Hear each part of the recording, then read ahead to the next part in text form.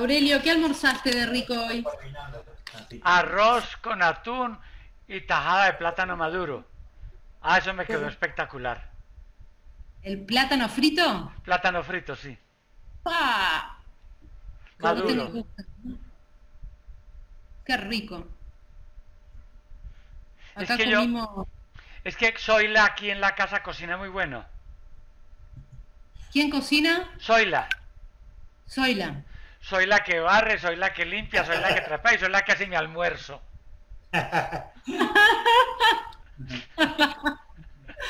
Sí, sí. No se puede quejar entonces. Qué suerte que tenés. Sí, no. Y no la puedo despedir. Claro está que yo, No. le, yo le pago muy bien. De eso sí no tiene queja ella. No le, doy, no le doy vacaciones, no le doy vacaciones ni le hablo de eso. Pero le pago muy bien. Aurelio, ¿seguís atendiendo todo, todo por Zoom ahora? Ya todo por, por Sky y lo que se pueda por Zoom. Ahí está. ¿Te animaste al final a, a Me, hacer me- cibernética? me animaron, me animé, no. Me animaron. Es que si no me animo me desaniman. Pero, ¿cuál era, cuál era tu, tu inconveniente de no poder hacerlo así? Uno, que yo tenía la agenda eh, presencial llena. Dos, Mm. Que yo le he tenido fobia a hablar por teléfono. Mm. Pero fobia. O sea, el teléfono es un invento muy bueno que lo vemos a Alejandro Graham Bell. Pero para mí el teléfono se hizo para acortar distancias, no para alargar conversaciones. Claro. Y entonces el teléfono me bloqueaba para yo hacer cosas. Yo no puedo estar quieto.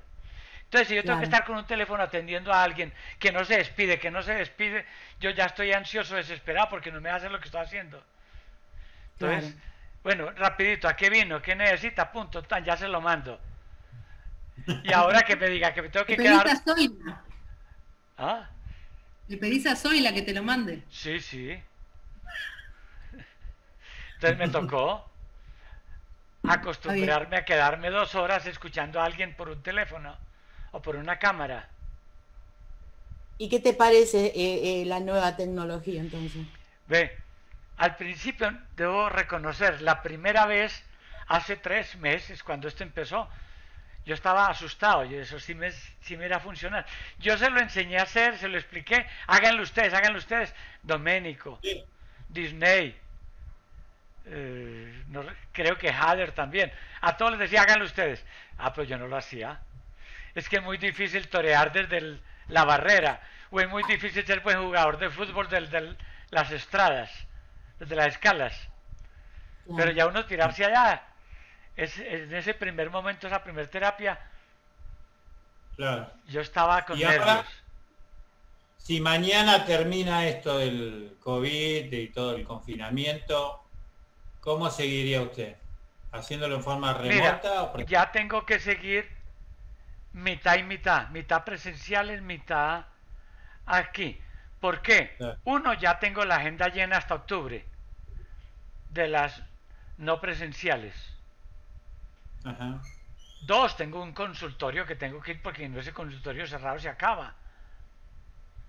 Tres, Claro. hay gente que no le gusta sino presencial y me esperan presencial. Es verdad, sí. Pero no presencial tiene ya muchas ventajas para mí. Yo para ir y venir hasta mi consultorio me gastaba dos horas diarias en transporte. Por la mañana 20 minutos, por la mañana que está la autopista despejada. Pero ya por la tarde me agarraba lo que llama la hora pico, Claro. las calles congestionadas.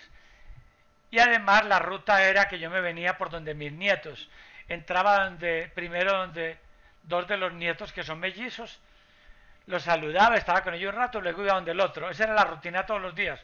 O sea que llegaba aquí a la casa a las 9 de la noche, subo un video a YouTube, le, le digo a Zoila que haga la comida, y luego la otra vez es que me acostaba con Zoila también.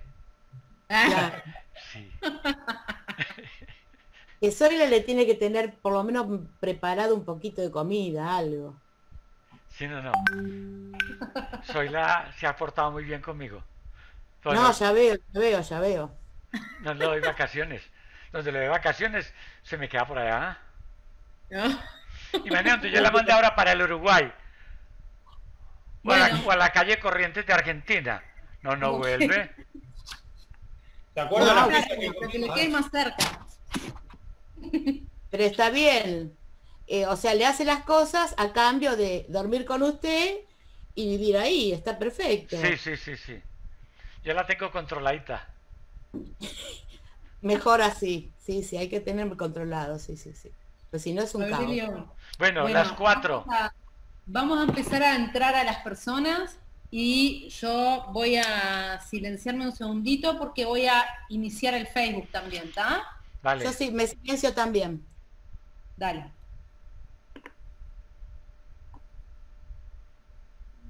Está Luana con la primera pregunta, acordate. Hola, bienvenidos a todos, a los que van entrando. Todavía no se conectó.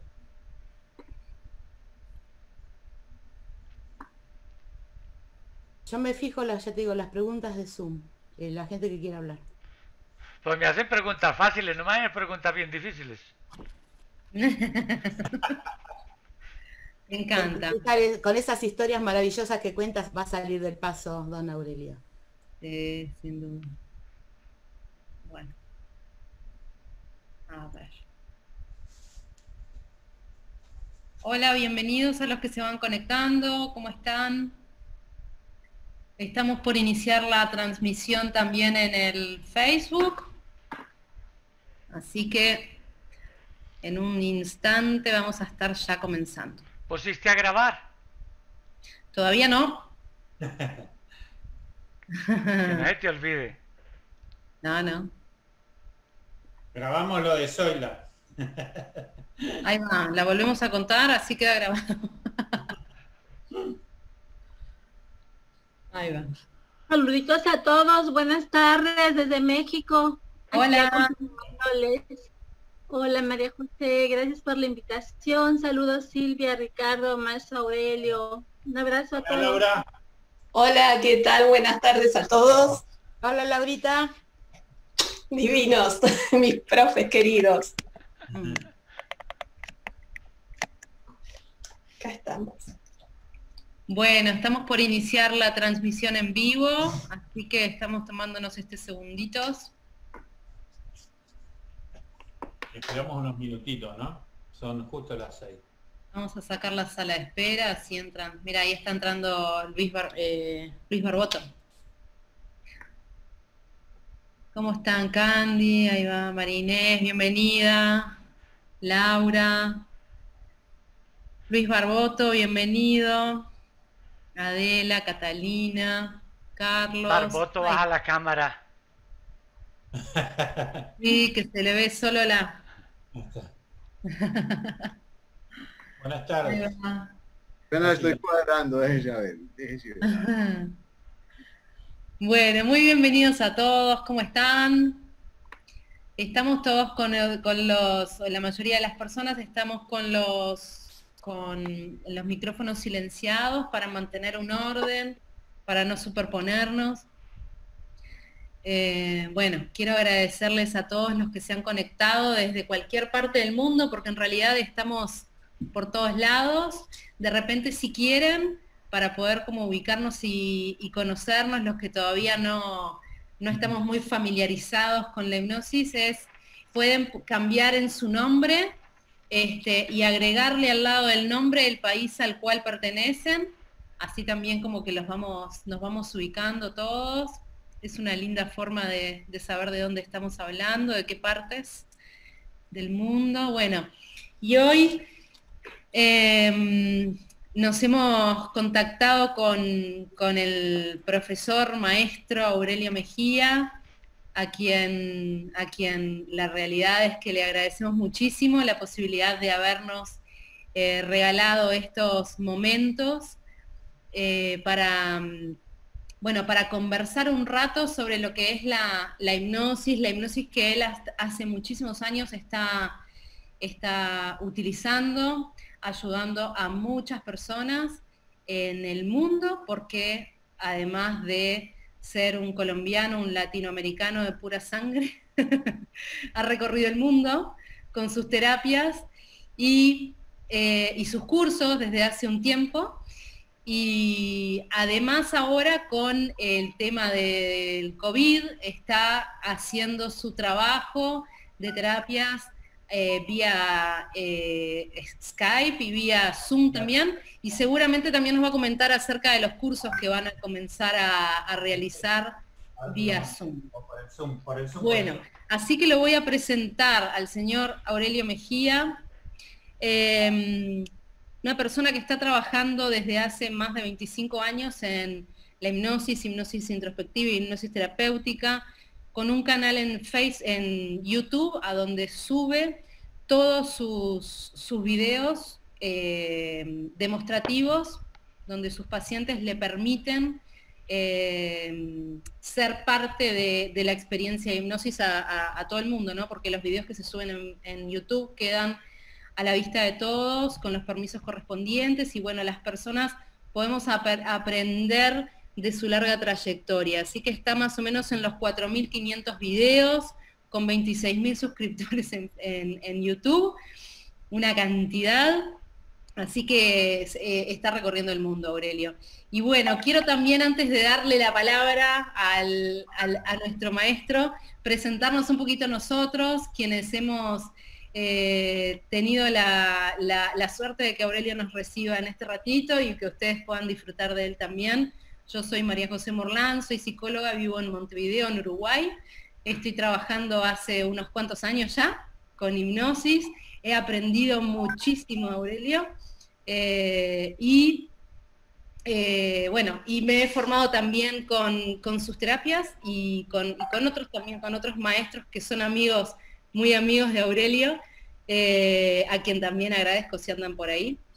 Este, y bueno, y les cuento que el año pasado, no, en el 2017, hace mucho tiempo, eh, Aurelio anduvo por Argentina con, con, Silvia Saco y con Ricardo, Ricardo Nievas, a quienes les voy a dar la palabra ahora un segundito para que se presenten.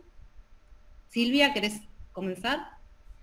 Bueno, eh, bueno, muchos acá ya me conocen. Mi nombre es Silvia Saco, de Argentina, Buenos Aires, capital. Soy terapeuta transpersonal y me formé paralelamente con la terapia transpersonal en las este, hipnosis de Aurelio, con ayuda de Fernando Vaina Restrepo. Y él, bueno, ya desde el 2012 estoy con haciendo terapias bueno, eh, bueno, muchos acá ya me conocen, mi nombre es Silvia Saco. Y bueno, le mm, transmito la palabra ahora a Ricardo, que bueno, somos colegas, dictamos cursos acá en, Buenos Aires y bueno, somos muy unidos en eso. Ricardo, te cedo la palabra. Bueno, muchas gracias. Buenas tardes. Eh, buenas tardes otra vez a los colegas que hoy nos reunimos también más temprano. Mi nombre es Ricardo Nieva, soy psicólogo social, soy licenciado en alto rendimiento deportivo y no tiene nada que ver con esta práctica, pero está bueno que, sepan que, por ejemplo, Valerio es técnico en computación o algo así, que cualquiera puede hacerlo más allá de su actividad. Em, como dijo Silvia, eh, estamos en Argentina em, haciendo el trabajo que aprendí de Aurelio directamente viendo sus videos Em, así que muy bienvenidos a todos y esperamos que hagan las preguntas que, sean necesarias para que los que están practicando la hipnosis puedan seguir avanzando y aprendamos todos juntos. Gracias por estar. Bueno, eh, entonces, contarles que em, Aurelio hoy este, está dispuesto a enfrentar las preguntas que todos ustedes tengan para hacerle, para hacerle. Eh, así que bueno, le damos la bienvenida. Aurelio, ¿cómo te va? A ver. Eh, buenas tardes. Ya muchos me conocen, soy Aurelio Mejía. Mm, voy a hablar poquito porque me van a preguntar mucho. Entonces, aprovechemos ese tiempo más bien para sus preguntas. Pero sí, me hacen preguntas que yo me sepa. Bueno. Bueno, qué, presentación breve, Aurelio. Es que yo soy de muy pocas palabras, yo muy tímido. Ah, sí, sí, sin duda. Aurelio, bueno, voy a arrancar yo con una primera pregunta como para un poco romper el hielo. Em, y vamos luego a, pedirle a Silvia y a Ricardo este, que sigan ellos por ahí. Eh, ¿Hay algún grupo en, WhatsApp por, donde están trayendo preguntas también? Desde el Facebook escriban sus preguntas que se las vamos a hacer llegar también. Y ustedes los que están conectados acá en el Zoom, eh, todo lo que quieran saber acerca de la hipnosis, acerca de Aurelio, de su trayectoria, de sus experiencias. Bueno, y un poco como para empezar, Aurelio, eh, nosotros sabemos, bueno, el cuerpo, eh, el cuerpo puede estar sano, puede estar en un estado eh, de bienestar, el cuerpo puede enfermar por un virus, por una bacteria, por lo que sea, puede lastimarse, puede estar herido, golpearse. También la mente, de igual manera, puede entrar en un proceso de salud, estar en un proceso de salud, es decir, en un estado de bienestar presente o de enfermedad. Y muchas veces nosotros como que mm, la, idea de, los terapeutas es el poder transmitirle a las personas, que tanto nuestros pensamientos, nuestras emociones, nuestras, em, todas nuestras creencias, de alguna manera nos, van poniendo en nuestra mente en un estado de salud o en, o en un comenzar un proceso de enfermedad. Y muchas veces pasa que durante las terapias vemos que nuestro pasado, los momentos vividos, los recuerdos pueden tener una influencia bastante importante en los procesos presentes de salud y enfermedad, Aurelio. ¿Cómo nos pueden afectar estos recuerdos a nosotros? Bueno, pongamos un ejemplo. Tú hablaste de un cuerpo sano. Diste entender ¿qué ocurre si tiene una mente enferma? Entonces pongamos el ejemplo con Zoila. Zoila es la empleada doméstica aquí en mi casa. Y lógico, yo soy el que voy a mercar. Y yo le traigo elementos de buena calidad a Zoila, que es la cocinera. Pero el hecho de que los elementos sean buenos de lo mejor, no quiere decir que esa cena, que esa comida va a quedar bien hecha. Porque si Zoila está en mal genio, se le olvida echarle la sal, le pone demasiados cominos, le pone mucho chile, o como me ocurrió en México, le ponen mucho de una cosa negra ahí muy picante, muy picosa. Una cosa que llaman disquemole. Entonces sí, Zoila me dañó toda la parte corporal, toda la parte de, mercado que yo hice. O sea, a mí es una comida terrible. ¿Por qué? Porque Soy le estaba pensando en su novio, Soy, le estaba pensando en un problema que tenía y no se concentró en lo que tenía que hacer. Ahora llevemos ese ejemplo a nosotros. Yo tengo un paquete celular muy complejo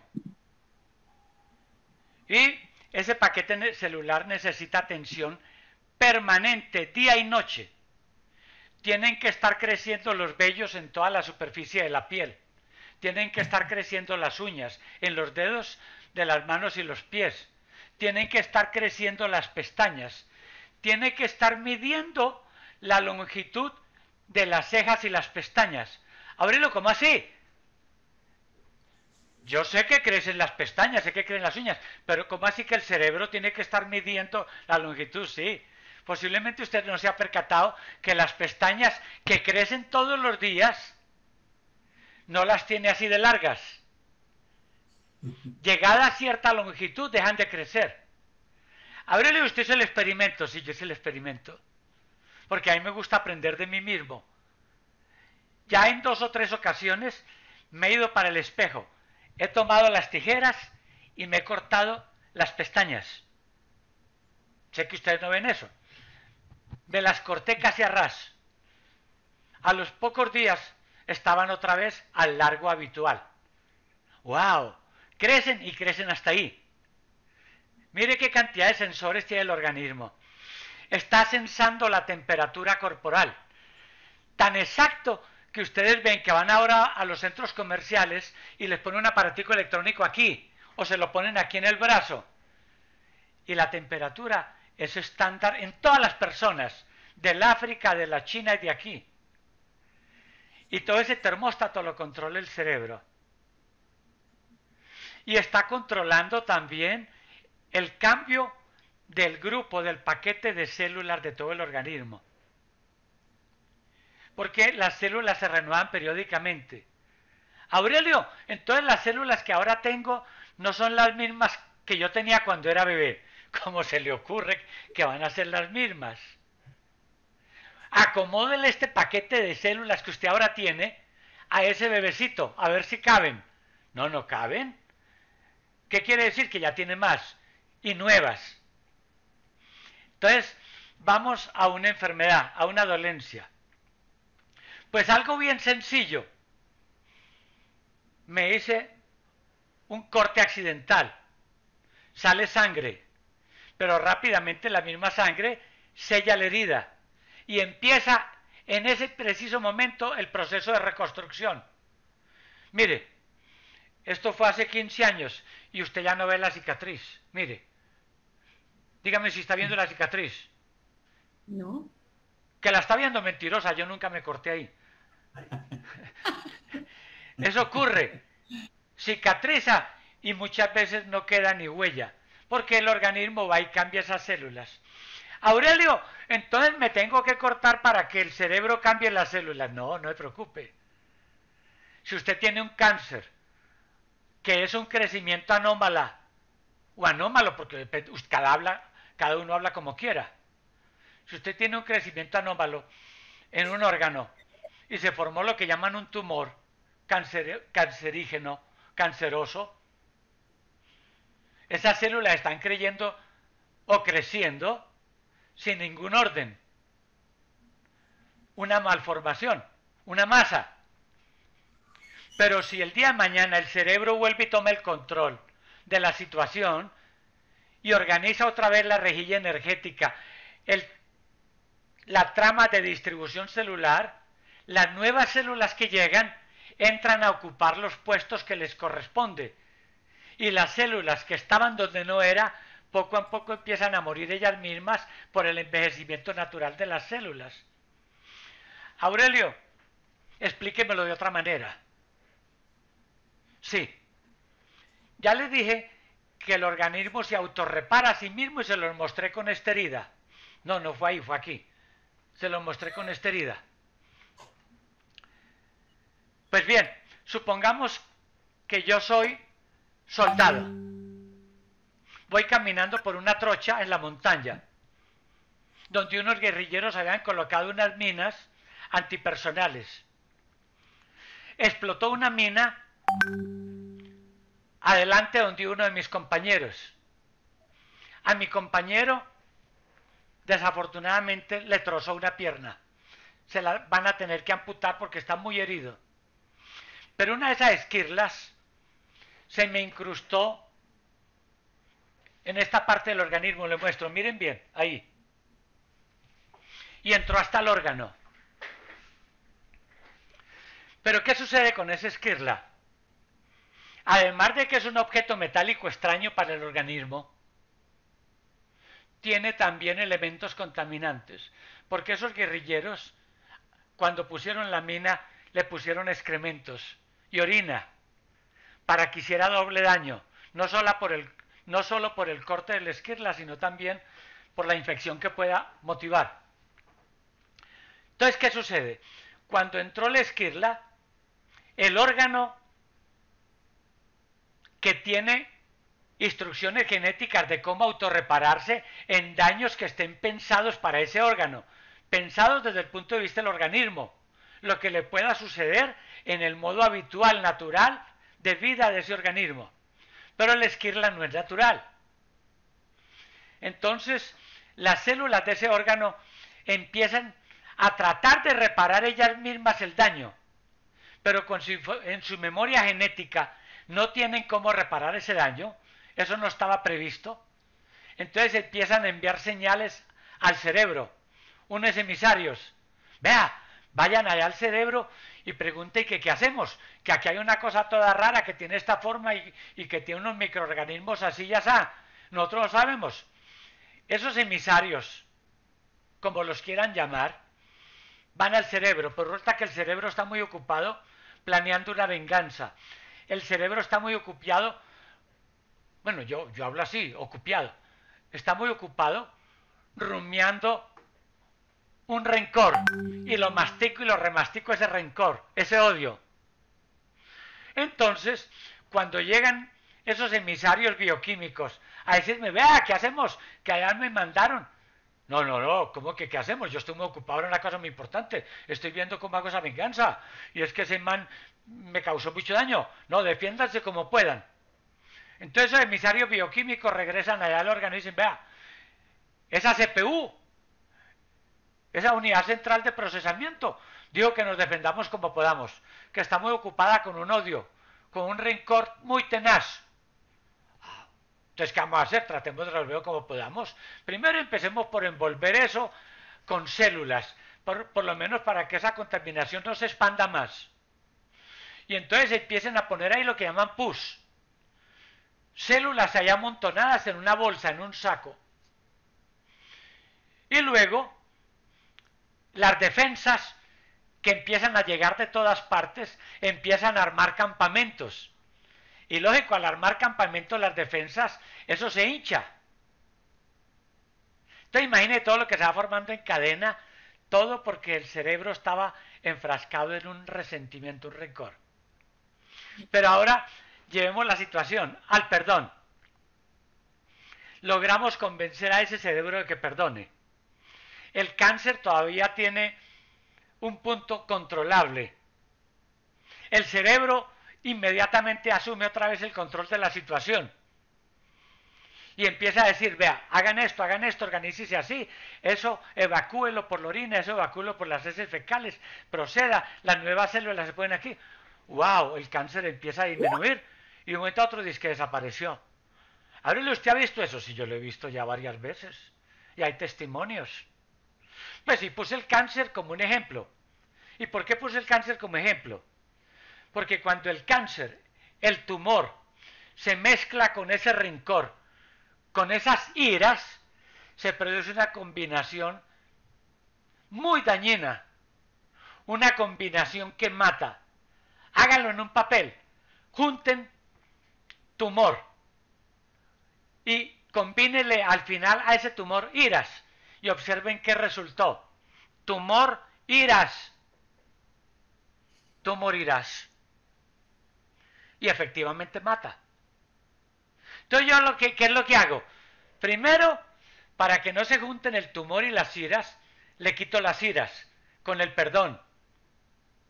Me queda el tumor. Pero el tumor, el organismo se asume el control cerebral a medida que las células nuevas lleguen, que eso ocurre periódicamente todo el tiempo, se repara el problema. Entonces sí, los pensamientos influyen en el cuerpo. Sí, sí. Realmente es algo que se ve, que, nosotros todo el tiempo estamos viendo, ¿no? Y no solamente en, las terapias, lo estamos viendo en, nuestras familias, en las personas que nos rodean, en nosotros mismos, en cómo cuando a veces este, estamos como enojados o cuando estamos eh, demasiado tristes, es decir, los diferentes procesos emocionales por los que vamos pasando como seres humanos, que a veces está bueno lograr un balance, ¿no? En cuanto a los pensamientos negativos, eh, que llamamos de negativos, pero que son estos pensamientos que nos están rondando, eh, eh, generar como una balanza con otros pensamientos más positivos, también entre comillas. Lo mismo con las emociones, el enojo, el, el miedo, todas esas emociones que nosotros llamamos de negativas, la realidad es que son necesarias, pero en un monto equilibrado, ¿no? No podemos estar pretendiendo de que estemos como todo el tiempo viviendo en una nube de fantasías, de pensamientos y emociones positivas, porque no es real, pero sí lograr un equilibrio para lograr un balance también. Lo que decías vos, Aurelio, en nuestro cuerpo, en la mente, somos un ser total. Pongamos un ejemplo con lo que tú acabas de decir. Tengo aquí mi billetera. Tengo cierta cantidad de dinero yo veré cómo distribuyo ese dinero. Tanto en ir al cine, tanto en ir a un restaurante a comer, tanto en, en comprar lo que me encarga Zoila para hacer el almuerzo. Pues depende de cómo emplee los recursos. Mm. Voy a poder disfrutar de esas vacaciones o voy a poder disfrutar de ese almuerzo, voy a poder... Pues bien, el cerebro tiene cierta cantidad de recursos mentales para todo lo que tiene que ver el manejo del organismo y el manejo de las emociones. Depende de cómo gastes todos esos recursos mentales, te va a quedar disponible algo para la salud o no te va a quedar nada para la salud. ¿Cuánto quieres dedicar al miedo? ¿Cuánto quieres dedicar a la tristeza? ¿Cuánto quieres dedicar al rencor? Y el resto es para la salud. Sí. Me lo figuro como carpetas, ¿no? Como pequeñas carpetas en la mente, si pudiéramos guardar como en, ese disco duro eh, interminable que tenemos y, y, dónde vamos poniendo nosotros nuestras, nuestras prioridades también. ¿eh? prioridades que son subconscientes, ¿no? Que no siempre son tan conscientes. Le quiero dar la palabra a Silvia. Bueno, Perdón, perdón, dale, dale. Agradezco a todos por poder tener también los celulares, eh, los, los audios apagados, así como le podemos dar este espacio bien a Aurelio para que pueda aprovecharlo. Sí, hay una pregunta interesante de Rolando. Rolando, si podés activar tu em, micrófono y directamente preguntarle a don Aurelio lo que querías preguntarle.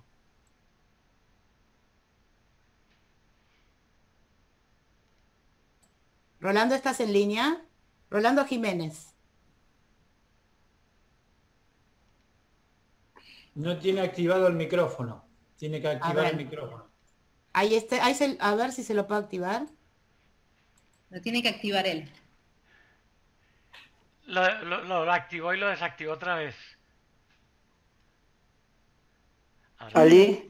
Ahí está. Listo, muy buenas tardes.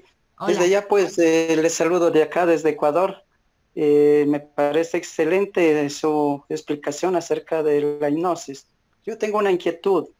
Eh, sabemos que en hipnosis, por ejemplo, en un trastorno por estrés postraumático, hay un evento crítico que al paciente le perturba y le molesta, ¿no?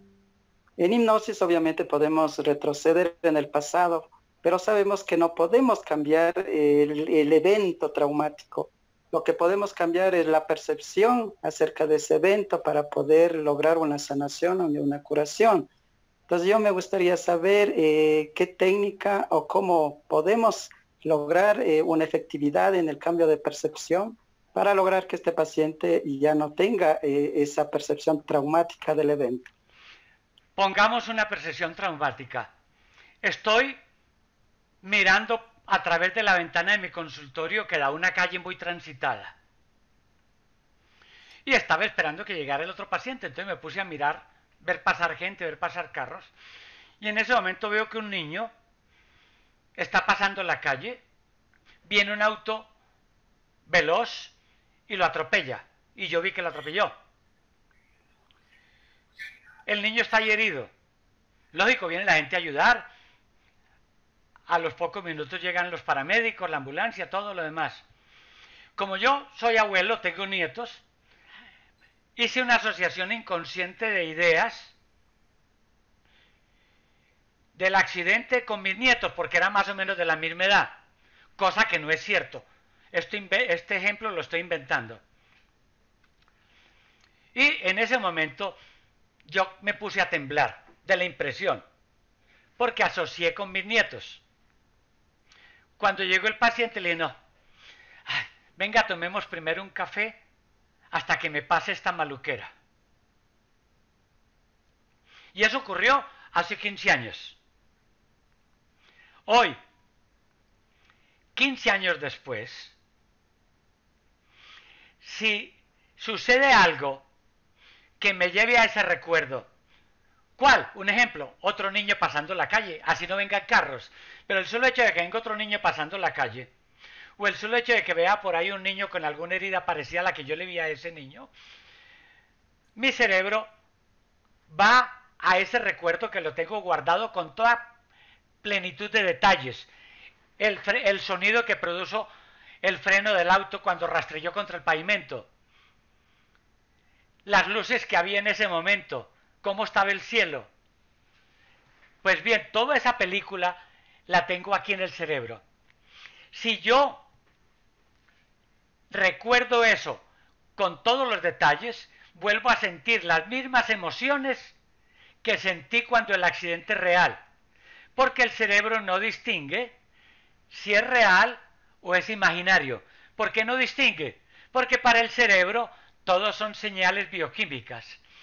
¿Cómo que todos? Si el accidente usted lo estaba viendo. Exacto, yo lo estaba viendo. O sea que lo que allí a, a mí llegó a la retina fue luz. Y lo que llegó a mis oídos fueron ondas de aire. Y mis ojos, mi retina, mi tímpano convirtieron esas frecuencias de luz y de sonido, las convirtieron en una imagen virtual, en una imagen cerebral que quedó almacenada en las neuronas.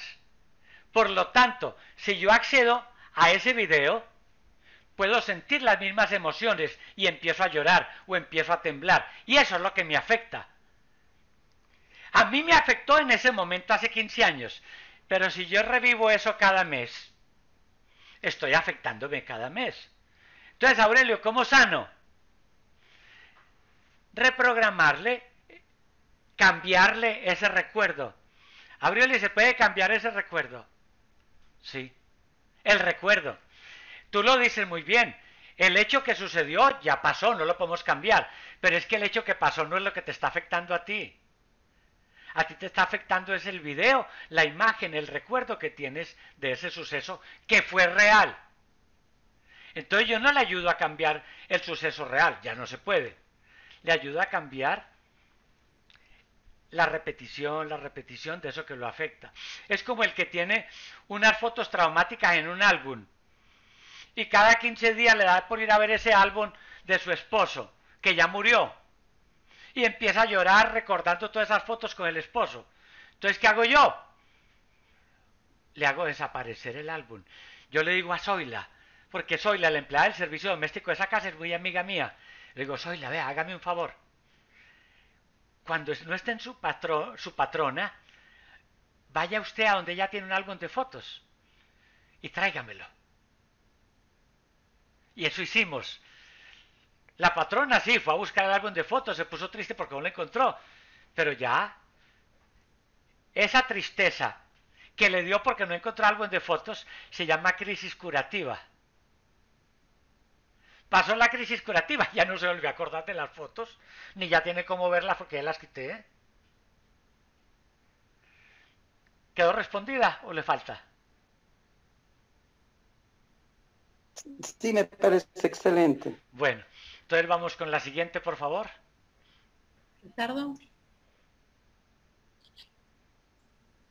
Sí, le quiero ceder la palabra a Luana, que quiere hacer una pregunta.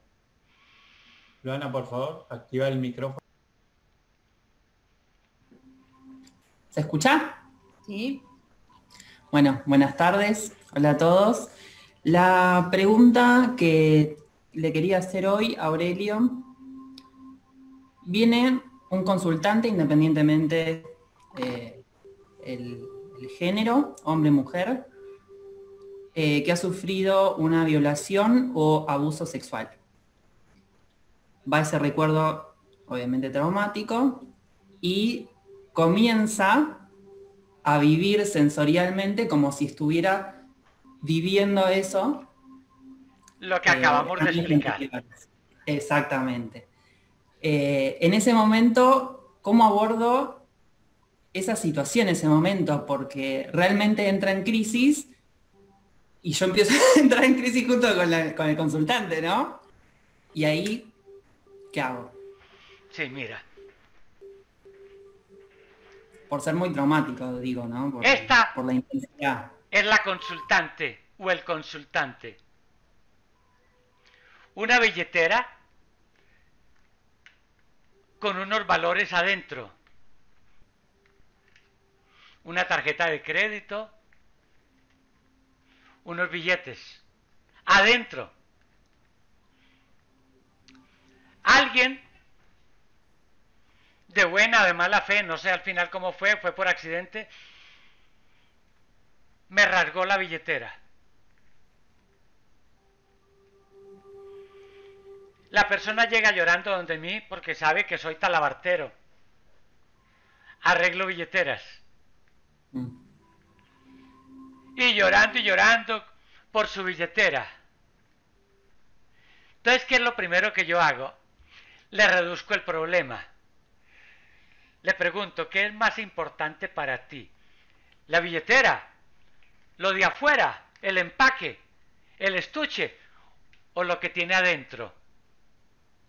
O sea, necesariamente la llevo a que me responda que lo que tiene adentro. Porque yo voy haciéndole las preguntas de tal manera que las respuestas sean las que yo espero que me dé. ¿Qué estoy haciendo? La persona venía con un problemón así de grande. Abuso sexual. Porque a nivel cultural le han dado la idea de que abusar de ese cuerpo es lo más perjudicial que puede haber. Entonces llega con el problemón que no puede aquí con él. Entonces yo le empiezo a quitar el problemón, se le empiezo a rebajar de tamaño. Le digo, no, no sea tonto, venga, pasemos eso para acá. Venga. Vea. Vea, metamos eso aquí. Vea. Vea. Metámoslo ahí. Vea. ¿Vio? Solucionado ya. Y la persona dice, viéndolo bien, sí. Entonces, yo la llevo a mostrarle, uno, que no fue de ella que abusaron. Aurelio, ¿cómo que no fue de mí? ¿Usted no estaba ahí? Sí, yo no estaba ahí, pero sé aritmética. Entonces ya le empecé a enredar. ¿Qué tiene que ver aritmética con sexualidad o con abuso? Pero yo la estoy sacando del contexto lógico con el que ella vino. La estoy llevando a mi terreno.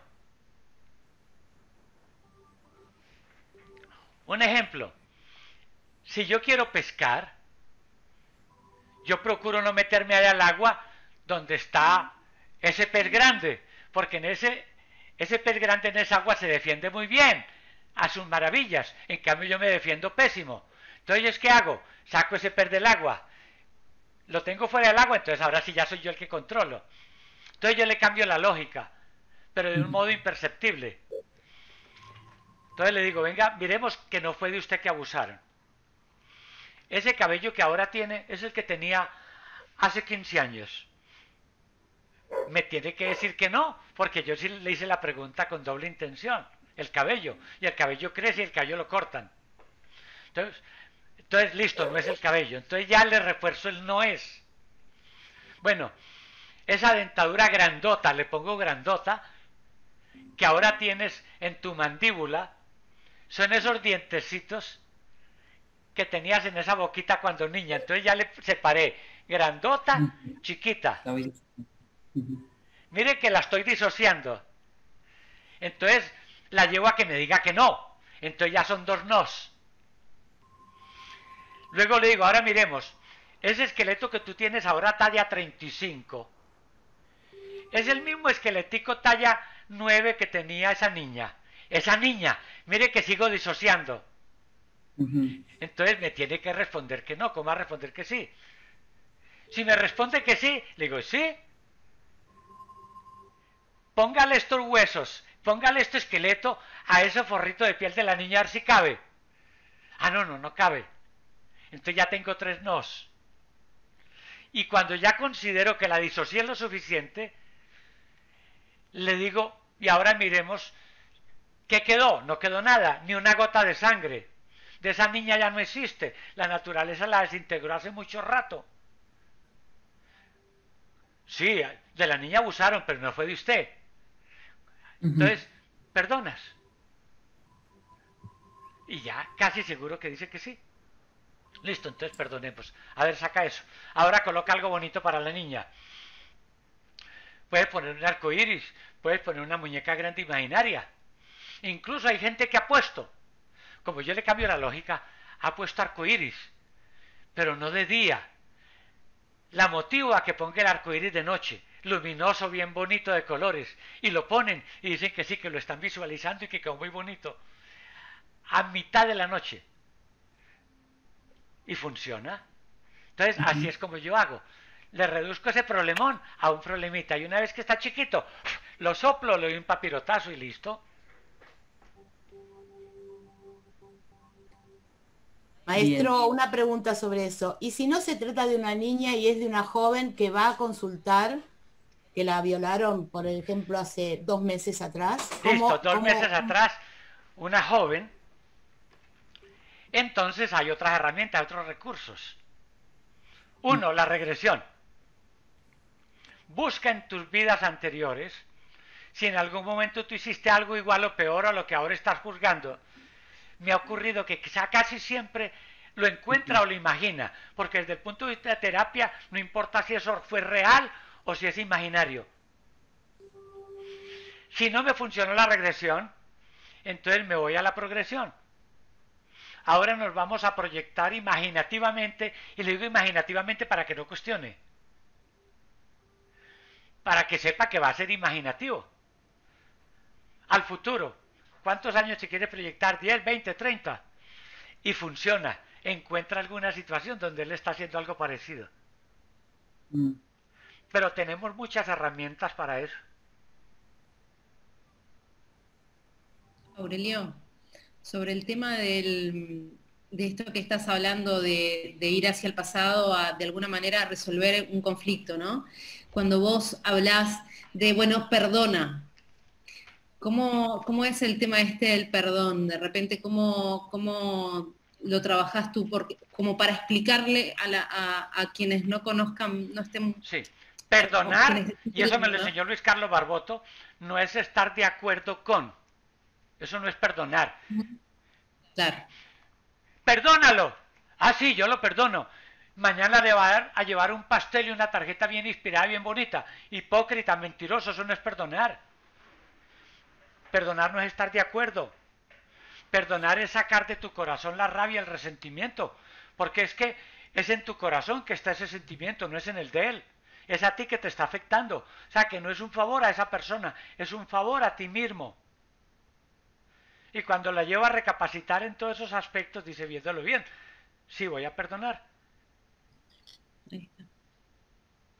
Eh, Aurelio, ¿me, permitirías eh, preguntarle lo mismo a Barboto? Súper. En ese aspecto fue mi maestro. Luis Carlos. ya, ya me activé. ¿Cómo están? Qué rico estar con todos ustedes y les doy un saludo muy especial. El, perdón es algo muy bello, pero el perdón no puede ir aislado. La definición de perdón más exacta poder recordar el hecho sin perturbarme del hecho. Entonces allí es cuando llega el verdadero perdón. Pero para yo poder perdonar verdaderamente debo primero, como decía ahora Aurelio, debo aceptar que el hecho ocurrió. Y aceptar no es estar de acuerdo. Aceptar es simplemente tomar conciencia de que ese hecho ocurrió. Después de eso hay que, hay que, llegar a no juzgar la persona. Todas las personas estamos en una evolución espiritual diferente entonces habrá gente que todavía no tiene la capacidad de eh, manejar correctamente el instinto sexual. Entonces se va a comportar mal, así como se comportaría incorrectamente, quitémosle la palabra mal, así como se comportaría incorrectamente un niño que está en kinder y yo lo llevo a hacer laboratorios de química. Lo haría muy mal, muy mal, pero no es bruto ni es malo. Simplemente es que no sabe química. Entonces en este caso es lo mismo y el niño que está haciendo química y, que es de kinder, yo a ese niño le perdono porque no sabe lo que hace. Entonces, en este caso también, decir a, a, esa persona y decir, no sabe lo que está haciendo, no lo ha aprendido todavía, no lo ha tomado conciencia dentro de sus seres. Y en la sanación, para mí, en cualquier caso, a cualquier edad, es que cualquier persona que maneje incorrectamente, no solamente el sexo, todos manejamos incorrectamente alguna cosa, alguna cosa. O estamos con celos, o estamos con envidias, o estamos con odios, o estamos con rencores.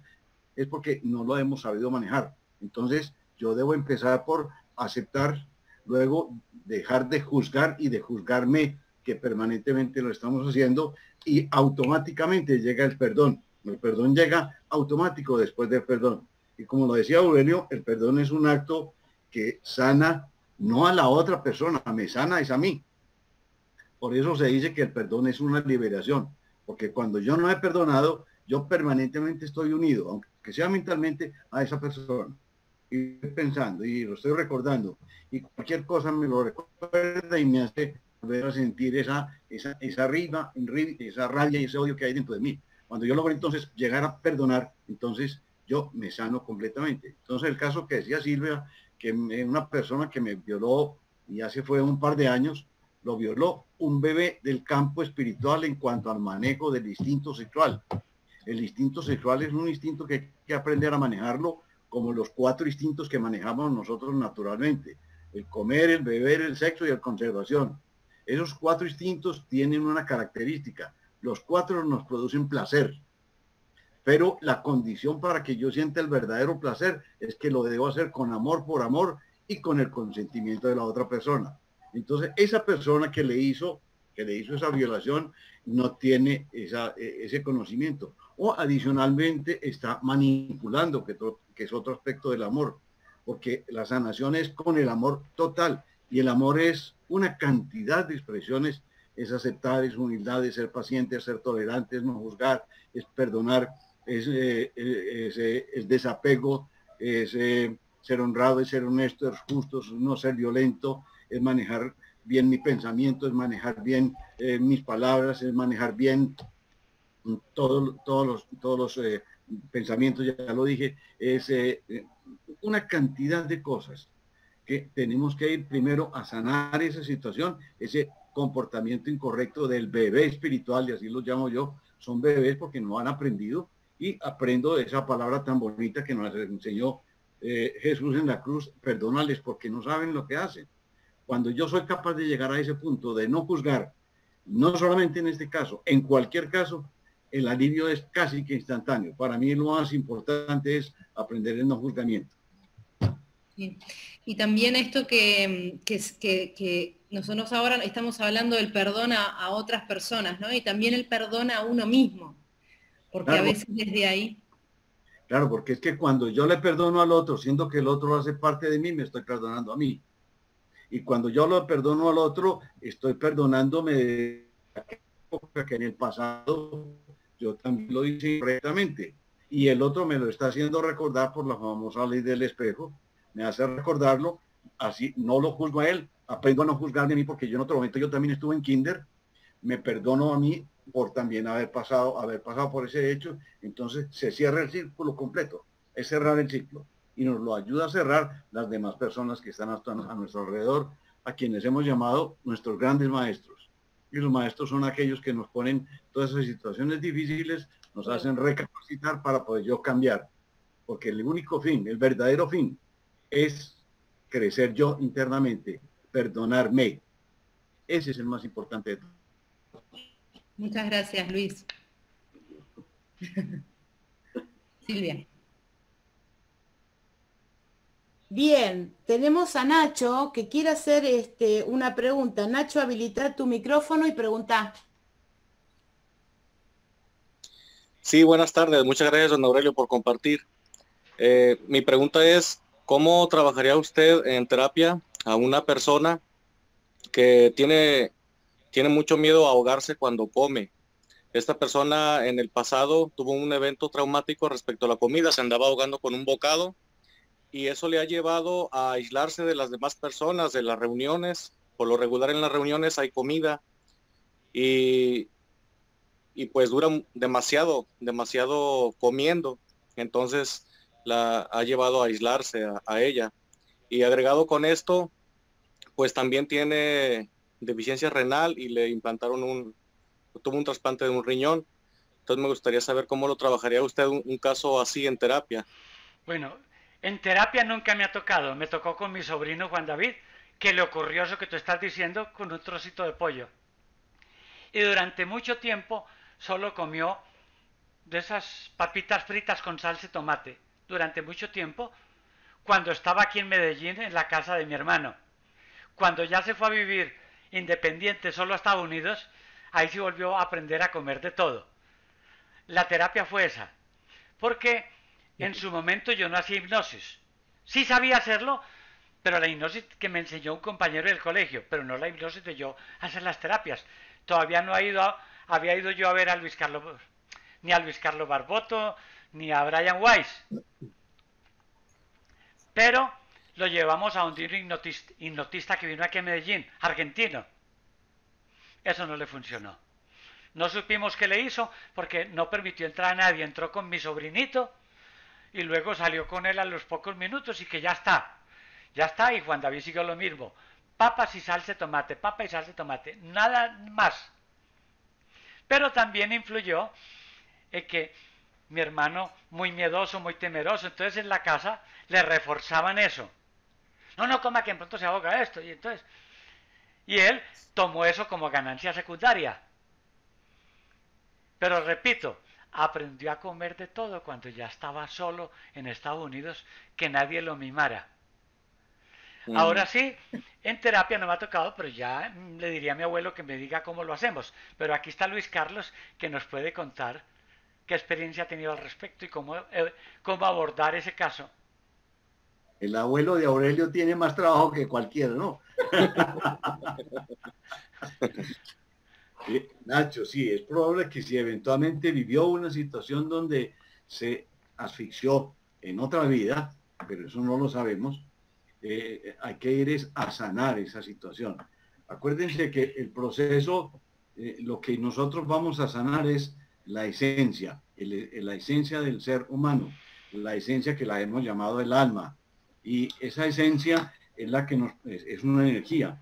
Esa energía va a producir un sentimiento que es la que va a llegar a la mente.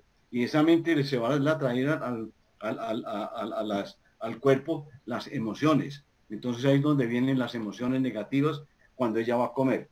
Y eso, como lo explicaba ahorita Aurelio, es decirle, mira la emoción que estás sintiendo cuando estás comiendo, hoy, hoy. Y vete a buscar el origen, cuál fue la primera vez que tuviste ese esa misma sensación. Aparecerá de pronto que estuvo en otra vida, sí, y que se, se tragó o se ahogó por alguna situación.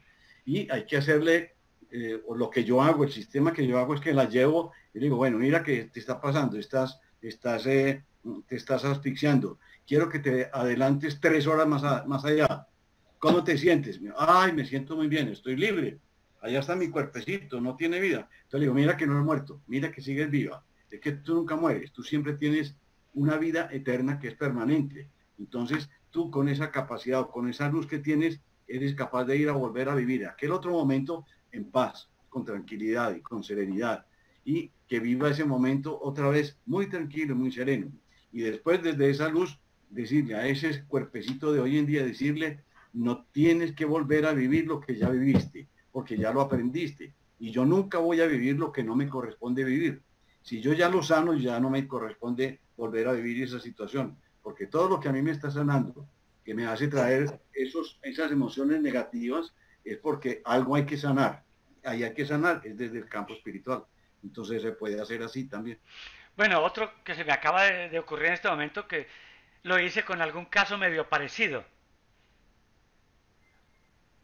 Buscando que esté en un trance más o menos profundo, porque en mi, en mi caso el sujeto empieza primero superficial, superficial, a medida que transcurre el tiempo se va yendo naturalmente más profundo. Espero a que esté a un nivel de profundidad adecuado para yo manipular, trabajar con su imaginación y llevarlo a un escenario mágico. Lo he utilizado con niños y me ha funcionado muy bien. Le digo, si alguno tiene imaginación son los niños. Hace muchos años, un niñito llamado Leonardito da Vinci quería volar pero no habían inventado los helicópteros. Entonces él inventó una hélice que se atornillaba en el aire. También hace muchos años había un, niñito llamado Werner von Braun. Y él quería hacer cohetes y los hizo en su imaginación. Y había otro niño en Nantes, Francia, llamado Julio Verne, pero le decían Julito porque era un niño, Julito Verne, que quería ir al centro de la Tierra, pero en ese tiempo no han inventado esas excavadoras, esos topos que hay hoy mecánicos. Entonces, ¿qué hizo Julito Verne? Inventó él mismo una máquina y viajó hasta el centro de la Tierra. Él mismo en su imaginación. Ese niño quería ir a la Luna, pero Werner von Braun había inventado los cohetes. Entonces, ¿qué hizo Julito Verne?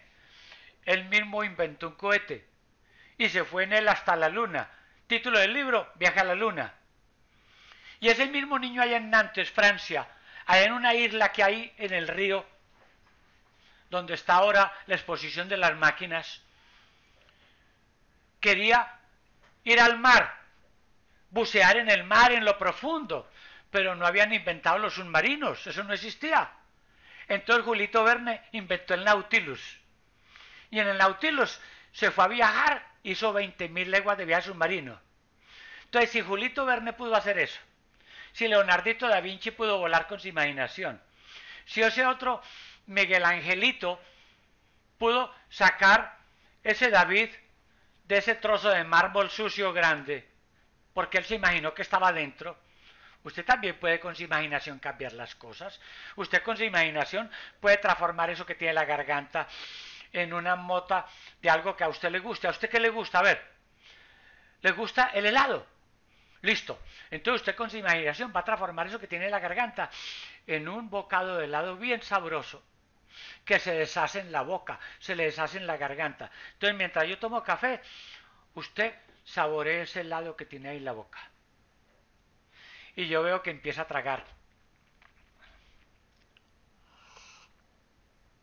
¿Ya te lo tragaste? Sí, ya, ya pasó, ya me lo tragué. ¿Te gustó? Sí, me gustó.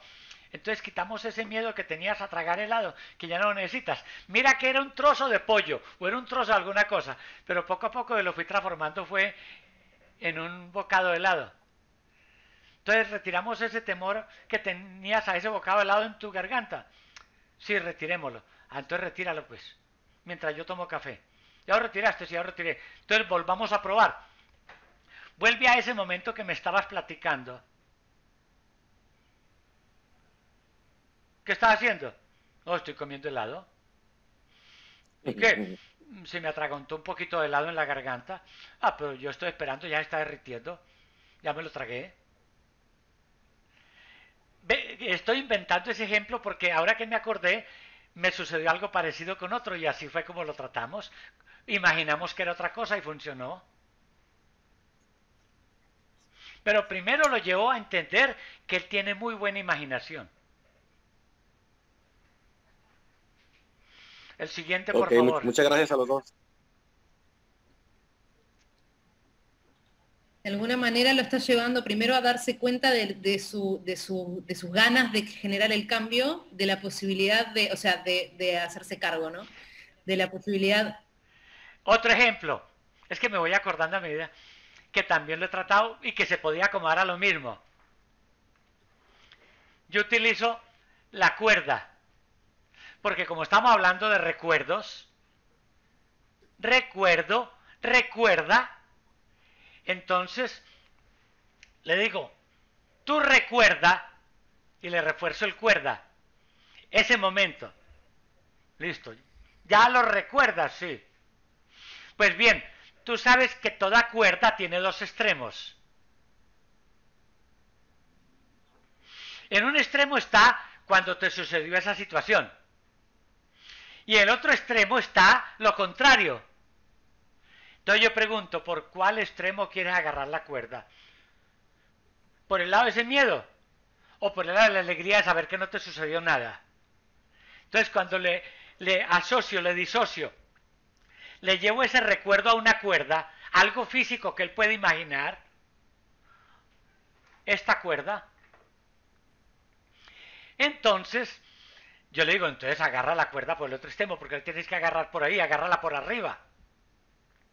Ah, sí, no, no me morí. Entonces ahora sí, llénate de alegría porque no te moriste. Entonces, ¿para qué necesita de miedo? No necesita para nada. ¿Lo tiramos a la basura? Sí, tienes miedo a la basura. Mientras, mientras usted barre ese miedo, bárralo para el lado de allá, no para acá, porque aquí tengo mi taza con el café y no quiero que ese miedo le caiga a mi taza. Barra para el lado de allá. Y los llevo a ese escenario mágico donde ellos imaginan que están barriendo. Y como les asocio que no barran para acá, lo hacen como más real. Y les sale hasta risa. Funciona. Mire que ya le hemos dado, entre Luis Carlos y yo, como tres herramientas para tratar eso. Y hay más. Muy bueno. Eh, Ricardo. Muchas gracias. Sí, eh, le quiero dar la palabra a Laura Fontana que tiene una pregunta. Hola, buenas tardes, don Aurelio, un gusto tenerlo. Eh, yo soy un amante de su abuelo, lo admiro mucho y aprendo mucho con él. Y quería preguntarle, eh, ¿cuál es la sesión de las miles que tiene publicadas y de las que no? ¿Cuál es la que más le impactó? Y si en alguna de ellas recibió algún mensaje personal, tipo onda Brian Weiss, yo que le haya Muchas. Sobre todo las primeras eran muy impactantes, porque en las primeras yo estaba aprendiendo de los pacientes, consultantes, amigos. Entonces yo preguntaba cantidad de cosas. Digamos que en las primeras tuve muchos maestros. A ver, resumamos rápidamente algunas. Estoy en Rhode Island. En una ciudad que llama Pataque. En español se escribe Pawtucket, cerca de Nueva York. O cerca de Boston más bien. Y estoy dictando una conferencia. Después de la conferencia me llevaron a la casa de la persona que organizó y se iba a hacer una sesión, una tertulia con las personas que ayudaron en la organización del evento. Eran como 20 personas.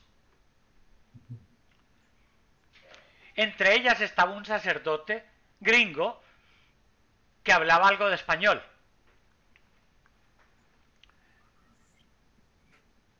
Y después de que hicimos tertulia ahí un rato, resolví hacer una hipnosis demostrativa.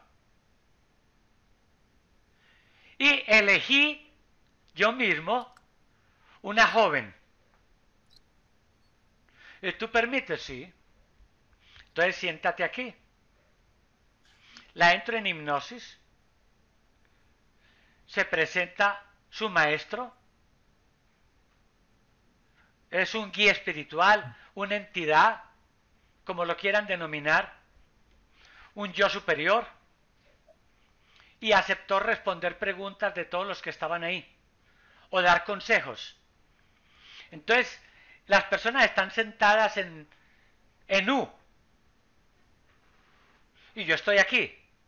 Entonces empieza a contestar preguntas de esta, a darle consejo a esta, a esta, todos, incluyendo el sacerdote. Esta sesión está en audio. En ese tiempo yo no tenía el video. Y está en YouTube. Yo la subí y le puse ahí cualquier video para llenar. ¿Qué tuvo interesante? A cada uno le dio consejos específicos. Incluso de personas familiares que no estaban ahí. Cuando llegó donde un joven, le dijo algo de una amiga y de un amigo de la amiga, algo así. Consejos que no estaban ahí. Y luego le dice a él, no hagas lo que estás pensando hacer. Saca eso que tienes en el carro.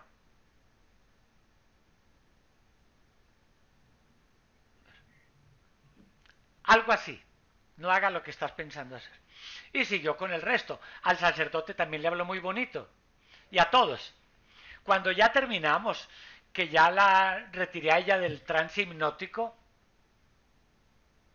pues de momento no me parecía extraño que le diera consejos a todos, pues es alguien del grupo, de la tertulia, de los que organizaron el evento. No era del grupo. Resulta que esta persona del grupo había recibido la visita de ella de Medellín y para no dejarla sola en la casa le dijo, tengo una reunión con mi grupo esta noche, vámonos. Y se la llevó. O sea que esta persona que yo entré en hipnosis no conocía a nadie, solo a una, a su familiar que la llevó. Entonces, ¿cómo hizo para darle consejos específicos a cada uno? Sorprendente. Bueno, ahora vámonos al joven que le dijo, no haga lo que estás pensando hacer. Lo llamé aparte y le pregunté, oye, ¿eso que te dijo el maestro tiene sentido? Y me dijo, sí, tiene sentido. Me pensaba suicidar y tengo una pistola en el carro. Aurelio volví a saber de él. Sí, en dos ocasiones volví a saber de él. En una iba bien. Y al tiempo, tiempo, me llegó a Medellín una de las personas de la tertulia. Y me dijo, Aurelio, ¿te acuerdas de aquel joven? Y sí. Pues parece que se suicidó. Los vecinos de apartamento empezaron a notar mal olor. Llamaron a la policía, abrieron y lo encontraron muerto adentro. Ya llevaba algunos días. No acepto el consejo del maestro porque cada uno es libre de hacerlo. Esa es una. Otra, allá mismo en Rhode Island. Como yo iba a estar una semana ahí, entonces durante la semana aprovechamos para atender a algunos pacientes. Y este grupo pertenece a la iglesia de Rhode Island. Digo pertenece porque eso hace ya 20 años, pero todavía están. Y eh, se, dedican a ayudar a inmigrantes, legales o ilegales. Les proporcionan traductor, les proporcionan medicinas, ayuda médica, y más si son ilegales. Entonces la iglesia los ayuda así. Y les pagan cuentas de hospital, ambulancia. Entonces me llevaron a mitad de semana donde un señor Byron, indígena guatemalteco, que estaba con su familia allí ilegal. Su esposa, tres niños y su mamá. Esa era la familia. Pero resulta que Byron, cuando me lo presentan y lo fui a saludar, me dejó con la mano estirada. Imagínese. Me deja con la mano estirada. Y luego me dice, don, don señor, perdóneme, no lo doy la mano porque soy cuadraplégico. Yo no puedo mover nada de mi cuerpo. Estaba boca arriba, obeso. Entonces a mí me dio pena también que lo pusieran en una situación incómoda. Conversamos, conversamos, pero vi que la familia toda estaba vestida, debe haber sido de gala porque le avisaron que iba yo, estos estaban vestidos a, a lo gala indígena guatemalteco vestidos típicos. Entonces yo pensé, son indígenas, quién sabe qué creencias tienen, donde yo les hablé ahora de hipnosis y de estas cosas. Yo era buscando a ver qué hacía, pero el grupo me llevó para que yo le entrara en hipnosis, a ver si se lograba algo. Pues no me atreví a sugerirle que le entrara en hipnosis, pero vi la niña que yo pensé que tenía como 10 años, después me dijeron que tenían casi 10, 9. Entonces le pregunté a, él y a la señora, ¿me permiten que yo entre en hipnosis a la niña? Dijo, sí. Esa niña entró en hipnosis inmediato. Oye, se presenta a su maestro y empieza a hablar espectacular. Una niña de nueve años. Esa regresión está compartida en YouTube. Se llama Byron, Byron, o USA, indígena, algo así empieza a hablar espectacular a través de una niña y empieza a darle consejos a los del grupo que están ahí, que esa niña no los conoce. Y luego nos habla de Byron, su papá. Pero lógico que no está hablando como su papá, está hablando el maestro. Y ya sacamos de hipnosis a la niña y nos vamos, porque quedamos que volvíamos como a los dos o tres días. Y ahí sí ya con la intención de traer no sea Byron. Cuando regresamos, la esposa nos dice, vea lo que pasó esta semana. El niño estaba haciendo una tarea y estaba dijo una palabra ahí guatemalteca que no entendía. Enredaba el niño para hacer la tarea. Y la niña de nueve añitos le dijo, hermanito, tranquilo. Vea, cierre los ojos. Respire lento y profundo. Relájese. Uno. Lo entró en hipnosis. Y en hipnosis hizo que hiciera la tarea. Y dice la señora, vea, yo estaba así, sorprendida. Una tarea que demora normalmente cierto tiempo para hacer. La hizo rapidísimo la tarea, bajo hipnosis. Así le hizo la niña. Y... Aurelio, justo ahora que estás hablando de niños, ¿te acordás de mi hija? Hoy le dije, Loli, pensá si querés hacerle alguna pregunta a Aurelia. Y me dijo, sí, enseguida. Y me dijo, sí, quiero saber qué siente él cuando entra en hipnosis a las personas. A ver, tenemos el caso, no entra si entra. Cuando entra ya siento satisfacción, porque pienso, ya es mío, ya está bajo mi control. Y entonces yo siento satisfacción de poderle ayudar al otro a que él cambie, a que él sane. Eso es lo que siento. Porque si no entra en hipnosis, ah, wow, no se pudo. Pero afortunadamente entra en hipnosis la gran mayoría. Te sentís, te da muchas satisfacciones o tu trabajo logrado. Aurelio, ¿y quién sana? ¿Quién sana? ¿El sujeto? ¿Sana el terapeuta? ¿Sana el vínculo? ¿Sana la confianza? Yo una vez le digo que el terapeuta no sana nada. nada. Yo no sano ni un dolor de cabeza. Es el propio sujeto el que tiene el potencial sanador en sí mismo. Yo se lo ayudo a despertar, yo se lo ayudo a encontrar, yo se lo ayudo a descubrir. Y si el maestro nos da alguna ayuda, nos da algún permiso, bienvenido sea, pero es el sujeto el que sana.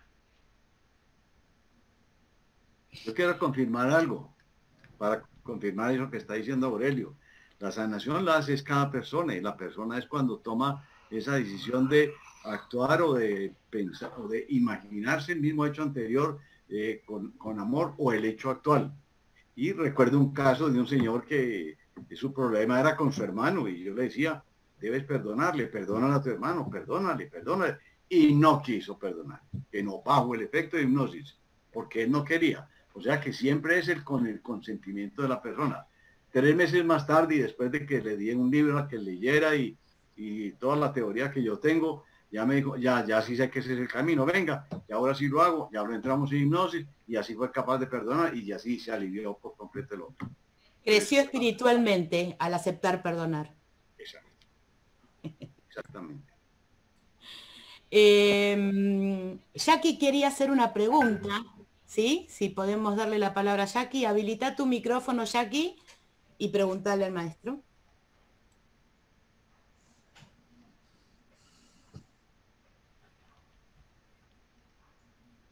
Jackie, en, apretá el clic el, sobre el micrófono para deshabilitar el mute.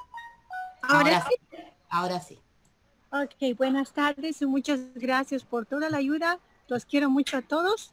Y mi pregunta es, cuando el maestro Aurel, em, digamos, saca una, un dolor, una tristeza, un recuerdo malo de la persona, yo lo veo que lo saca, ¿no? Y mi pregunta es, uno saca algo y tiene que poner algo bonito, ¿es necesario hacer eso o, tiene alguna repercusión si es que uno no pone algo bonito, digamos, como la playa o flores o un jardín? Bueno, eso de sacar es figurativo, yo no saco nada. En realidad se trata de cambiar, modificar una conducta, una emoción. Pero como mucha gente entiende por sacar, como la acción de tirar fuera. Entonces le digo, saca, saquemos, retira. Entonces, una vez que cambiamos eso, como la idea fue sacar, entonces queda la idea de espacio vacío. Y para que eso no regrese, llenamos ese espacio. También es figurativo, también es metafórico. Entonces lo llenamos con algo bonito, positivo, alegría, felicidad, optimismo y mucho de lo mismo. Pero todo eso son herramientas figurativas nada más. Es como el caso de los espíritus. Vamos a sacar ese espíritu. No, los espíritus realmente no es que se metan. Uno no es una vasija, uno no es una taza, no es una botella. Simplemente uno sintoniza, conecta con esas energías de esos supuestos espíritus. Todo lo que hacemos es romper esa conexión, terminarla. Pero cuando decimos sacar, es simplemente para ayudarle a visualizar al sujeto. Gracias, muchas gracias. ¿De dónde nos hablas, aquí? Ah, yo de Maryland. Desde Maryland. Bien, gracias. Muchas gracias a todos. Ricardo. Eh, sí, eh, Leandro Ruggeri está participando, pero está sin micrófono. Lo saluda Aurelio y quiere eh, preguntar qué recomiendan cuando el consultante es muy racional. A ver, primero que todo hay que entender que el consultante vino por sus propios medios. No vino obligado. Él vino porque considera que necesita ayuda, que necesita que le ayuden a cambiar algo. Entonces lo primero que hago es hacerle ver que él no vino a que lo hipnotizaran. Que para eso está Tony Camo o está Mandrake que él vino fue a cambiar algo que lo estaba afectando y que lo que lo estaba afectando a él era un pensamiento, que lo que lo estaba afectando a él era una rabia o un miedo. Entonces ya le saco de la mente el que yo lo voy a hipnotizar, porque le hago ver que él no vino a eso. Él no me está pagando para que yo lo entre en hipnosis. Él me está pagando para que yo le ayude a cambiar una conducta. Entonces, si él es racional, yo también soy racional. Entonces lo llevo al campo de lo racional y voy racionando con él. Y poco a poco, sin mencionarle la palabra hipnosis, le digo que vamos a hacer un ejercicio de introspección cualificativa ondulante. Aurelio, ¿qué es eso? No, yo tampoco sé. Es que eso se trata, que él no racionalice. Y hacemos el ejercicio y se logra el resultado. Entonces, lo primero que todo es, no le hable de hipnosis. Sácalo de ese terreno, porque ya él viene preparado a ver en qué momento es que lo vas a hipnotizar. Él está esperando que tú digas la palabra mágica o lo toques con esa varita. Entonces sí, una persona muy racional pone resistencia, pero tú te le vas metiendo por detrás. Luis Carlos ahí nos puede dar un aporte porque Luis Carlos tiene más experiencia que yo. Eh, el, analítico que somos todos los ingenieros, yo soy ingeniero, obviamente nos gusta mucho eh, saber qué está pasando y qué no está pasando y nos llenamos de muchas ansias. Y las ansias bloquean cualquier situación de la vida. Entonces yo, cuando llega una persona de esas, yo me demoro por lo menos 20 minutos a media hora en que le explico cómo funciona el cerebro, cuál es la, vibración del cerebro, en qué vibración va a estar cuando está en estado de hipnosis, que es igualito o similar eh, a la, a, la, situación donde estamos, pues el cerebro está cuando estamos soñando y que si hay un sueño lo trata de analizar, se va a despertar.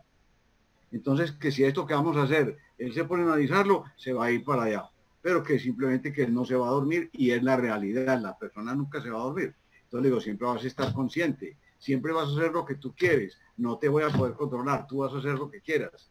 Y, le digo, hagamos, hagamos, hagamos pruebas. Y yo le hago unas dos o tres pruebitas y cuando menos pienso, ¡pum! Ya, se fue. Cuando lo que dice Aurelio, le quito esa, esa idea de que tengo, que tengo que ir allá y me tengo que entrar en hipnosis y, les insisto mucho en que, lleguen a la situación de a la terapia con una con, un concepto. Aquí voy a aceptar todo lo que aquí ocurra aunque lo que ocurra es que no ocurra. Y con eso ayudamos a botar las ansias. Entonces ah, bueno entonces me voy a relajar y no más. Sí no más. Vas a relajar. Y déjalo. Y así trabaja uno. Y cuando menos piensa uno ya se fue. Ya entró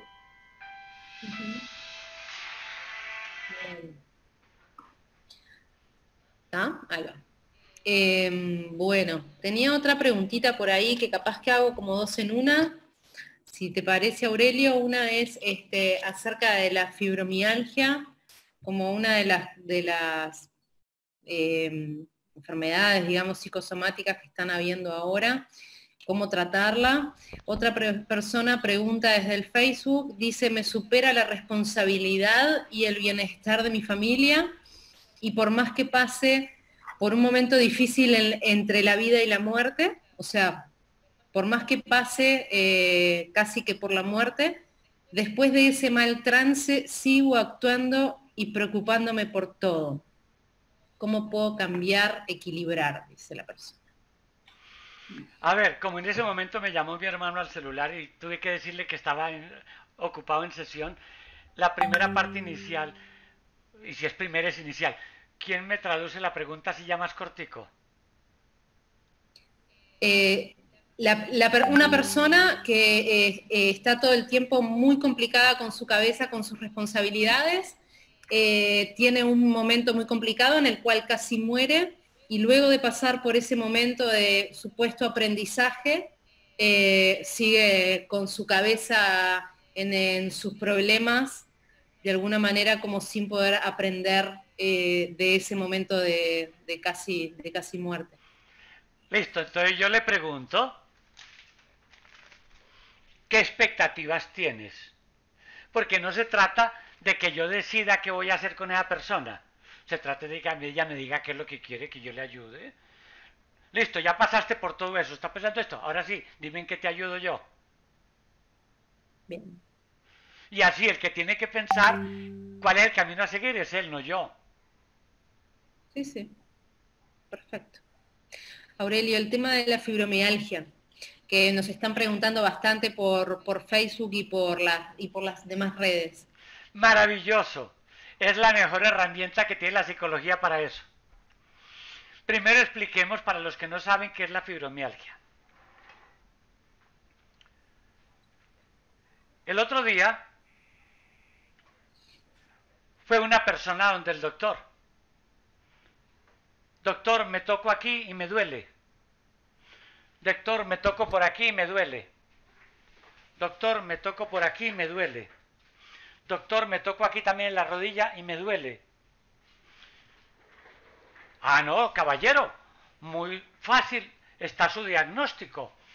Usted tiene fibromialgia, dolor en todo el cuerpo. Cuénteme, ¿Y desde cuánto hace que tiene ese dolor por todo el cuerpo? Doctor, desde la semana pasada que me fracturé este dedo. Se estaba tocando con el dedo fracturado. No tenía fibromialgia, lo que le estaba doliendo era el dedo. Pues bien, bueno, las risas se las envío ahora por aparte, eh, ahí en el chat. Es que sí, en las películas cómicas gringas usted ha visto que ponen como momentos de risa, ya programados. Hay que decirle a, a que ponga lo mismo. Fibromialgia, dolores en el cuerpo, dolores musculares. ¿Realmente hay dolores en todo el cuerpo? No. ¿Qué pasa? Pongamos un ejemplo.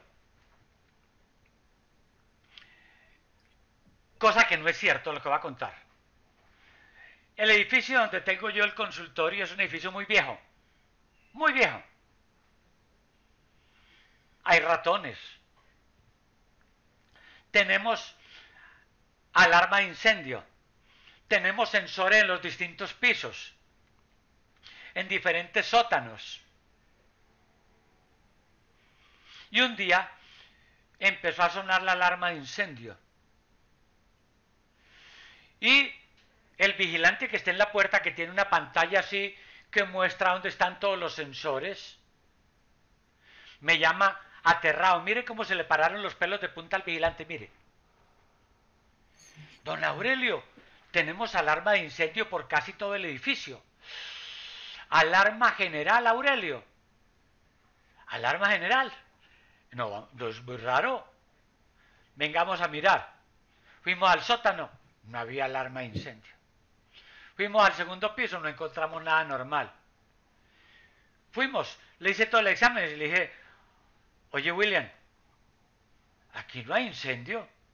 Don Aurelio, mire la pantalla, por todas partes, alarma de incendio. William, hagamos algo, vamos a buscar. Me subí al techo siguiendo los cables de todos esos sensores y había un ratón allá mordisqueando los aislantes de los cables, entonces producía cortocircuito, producía señales y parecía al sistema informático de monitoreo de abajo que había conato de incendio en diferentes pisos y no lo era. Simplemente era que el cableado por viejo y por ratones estaba produciendo eso. Ay, Aurelio, entonces la persona que tiene fibromialgia es que tiene ya el cableado muy viejo y hay un ratón virtual allá mordisqueándolo. Metafóricamente sí. Algo está por allá en el cerebro y le parece que está doliendo aquí. Se rasca aquí y no se le quita. Le parece que está doliendo aquí. Se rasca aquí y no se le quita. Porque es que el problema no está en los sensores. El problema está en el interpretador de los sensores. Entonces uno le dice al sujeto, busca, encuentra el origen de esos dolores. Ah, sí, una rabia, un rencor, esto. Y una vez que elabora ese perdón, o esa comprensión, o esa aceptación, magia, desapareció la fibromialgia. Por eso es que cuando hacen los exámenes corporales, localizados en las zonas que el paciente dice que tiene el dolor, no le encuentran nada en la clínica. ¿Qué le van a encontrar? Es que el sensor está bueno. Hay que buscar es en el cableado. Y es de lo que más fácil sana con una hipnosis. Y lo que más difícil sana con la medicina convencional. La medicina convencional se dedica a recetar paliativos, anestésicos, adormecedores de las distintas zonas del cuerpo. En cambio esto, la hipnosis, retira la fibromialgia ya para siempre. Excelente. Eh, Silvia. Sí, eh, le vamos a dar eh, la palabra a Solange.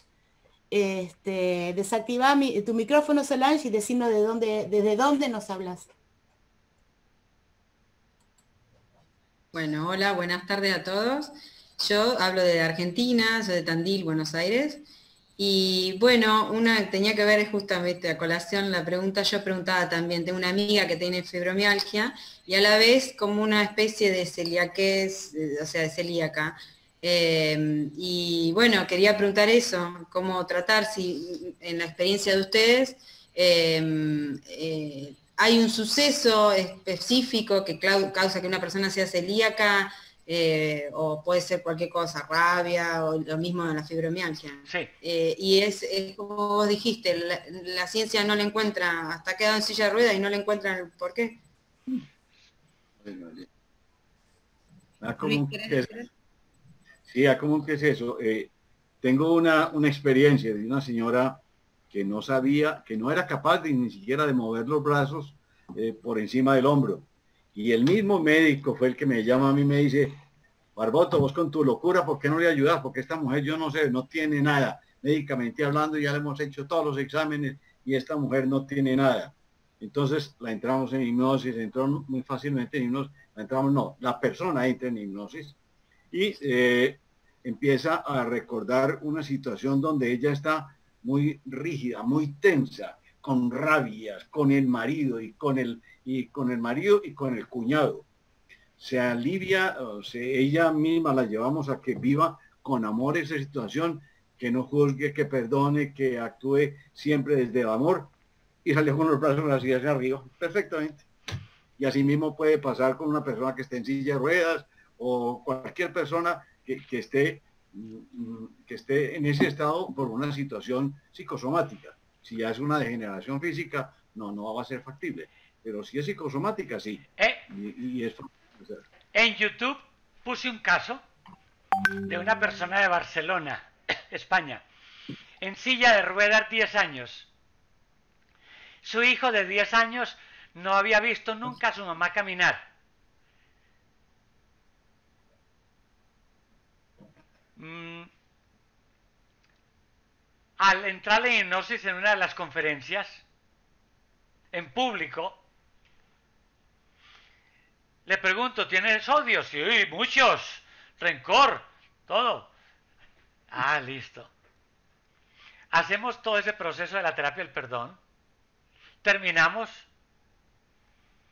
Se levanta de la camilla. Se pone de pie. Empieza a alzar las piernas. Caminando. Le arrimo la silla de ruedas. ¿Para qué? No, yo estoy caminando. Está todo ese momento. Pero no está toda la terapia porque ella es política del gobierno de ahí de Barcelona. Entonces me dijo Aurelio, yo soy política, no lo pongas, pero en fin, puse eh, una partecita del testimonio. Y, al tiempo, porque dijeron Aurelio, ¿y, ¿y al tiempo qué? Al tiempo volví a Barcelona. Fuimos a comer juntos. Nos fuimos caminando desde el consultorio de Jorge quien me organiza a mí en España. Y nos fuimos caminando hasta el restaurante.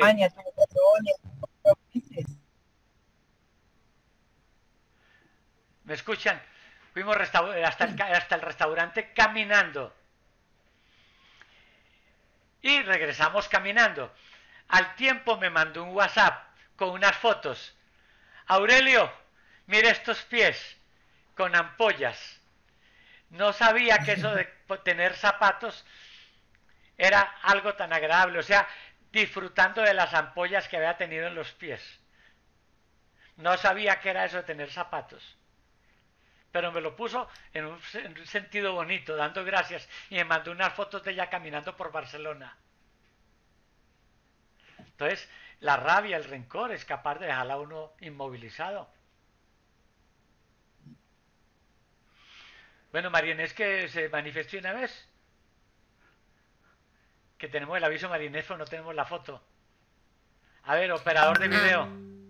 No, María Inés, creo que, no sé, María Inés, si tú querías hacer una pregunta. Disculpen, quiero agradecer, darle las gracias y bueno, decirle que los admiro, que no me puse nerviosa, entonces no dije admiro a Aurelio y a todos los maestros, a Ricardo, bueno, Silvia, a Carlos, todos, y bueno, gracias por este encuentro y evacuar nuestras dudas. Eh, Silvia, le habías dado la palabra a Carmen, ¿puede ser? Carmen, sí, después de Solange, este, va Carmen. Carmen, si estás, eh, habilita tu micrófono. A ver, Carmen. Hola, hola. Ahí estás. Perfecto. Hola. Este, pues qué tal, saludos de acá de México a todos ustedes. Muchas gracias por pues este espacio.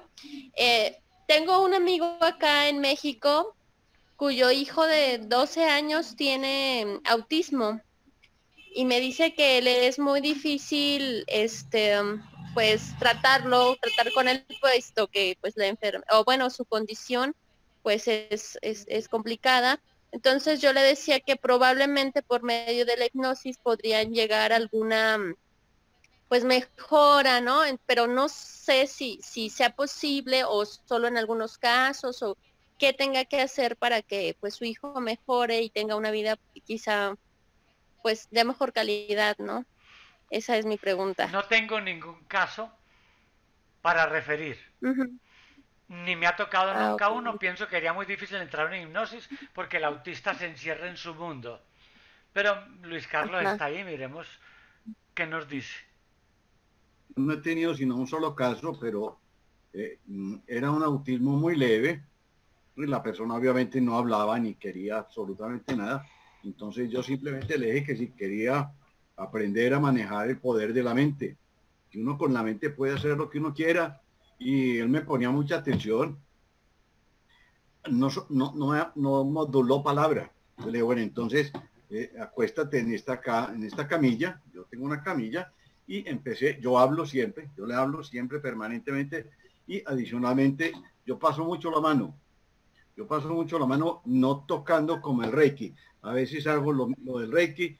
Ahí se, yo diría que con la hipnosis se pueden utilizar y se deben utilizar muchas otras técnicas que son complementarias. Entonces, a veces hago Reiki y a veces hago eh, lo que se llama liberaciones o movimientos de energías. Entonces yo empecé a hacerle y a moverle, a moverle la mano y, le, yo, y de pronto le tocaba la mano y le decía, esta mano se está activando y esta otra mano se está activando y ahora la fuerza de tu mente y le doy mucho el poder a él. Él, tú eres el que tienes el poder, tú eres el poder el que tienes de mover tu mente. Mira que eh, con tu mente mover el brazo y después mueves el otro y vas moviendo todo el brazo y vas y, y digo que se junten los brazos y después le digo, mira que tú eres capaz de unir los brazos de tal manera que no se pueden separar y verdaderamente no se pueden separar. Es lo que hacen en los espectáculos, en las hipnosis de espectáculos. Apenas logro hacer eso, en este caso fue, el niño empezó a reaccionar y empezó a hablar. Y yo, ¡Ah! ¿qué poder que tengo yo en mi cuerpo? Y empezó a conversar. No sé en realidad qué fue lo que pasó porque no tengo el don de poder ver si fue que se hizo una liberación y esa liberación era que lo tenía metido allá entre sí mismo pero en ese caso salió. Lo más importante con todo lo que están hablando es que no siempre todos los pacientes se van a aliviar. ¿Quién se va a aliviar físicamente? Al que le corresponda. Al que no le corresponde, no se va a curar, no se va a sanar, porque nosotros con la terapia de hipnosis no podemos cambiar el plan de vida que tenga cada persona. Entonces, eh, eh, eso nos ayuda también a nosotros como terapeutas a no estar a toda hora con la ansiedad. Uy, es que tengo que hacer esto y lo tengo que sacar y tengo que hacer casi que, tengo que hacer el milagro de que esta persona haga tal cosa. No, uno trabaja, puede ser que sucede o puede ser que no sucede. Ahí tengo una anécdota muy bonita que quiero compartirla con ustedes porque yo creo que aquí varios de ustedes saben que a mí se me murió un hijo y le dio cáncer en el corazón. Y una vez nos juntamos eh, con varios canales lo que tú preguntabas, Laura, para nosotros es muy común. Tenemos, eh, inclusive jocosamente, tenemos, decimos, una reunión de gente con dones. Personas que tienen dones y nos reunimos, nos reuníamos, ahora no, pero cada mes hacer eh, eh, una charla, se presentan muchos canales y nos hablan y nos, y nos van orientando y vamos aprendiendo el uno del otro, porque todos en la vida estamos aprendiendo el uno del otro. Cuando mi hijo se enfermó, entonces hicimos una sesión con todos esos canales, lo entramos en hipnosis, le hicimos toda la terapia y al terminar el, proceso, una de las personas decía, no, yo vi que el corazón de Felipe, Felipe era el nombre de mi hijo, quedó completamente limpio, no, yo lo vi que ya se no, yo otras cosas, todos, todos muy aliviados. Cuando llegamos donde Felipe le preguntamos, Felipe, ¿y tú qué sentiste? Y entonces volteé y me lleva, todos ustedes están aquí y están aquí por acompañarnos, está muy bien. Pero si a mí me corresponde morirme de esta enfermedad, me voy a morir. Si no, me voy a aliviar. En eso se presenta otro de los maestros y me dicen, el único aliviado es Felipe. Todos ustedes están enfermos, porque todos ustedes estaban esperando un alivio material de Felipe. Y el verdadero alivio que hay que buscar en las personas es el alivio del alma. Y si le corresponde, se aliviará su cuerpo material. Entonces hay que hacer ese trabajo y uno hace el esfuerzo con el autismo y con las personas que no se expresan y sucederá lo que tenga que suceder. Bueno, entonces ahora sí, hablemos del autismo. Mm.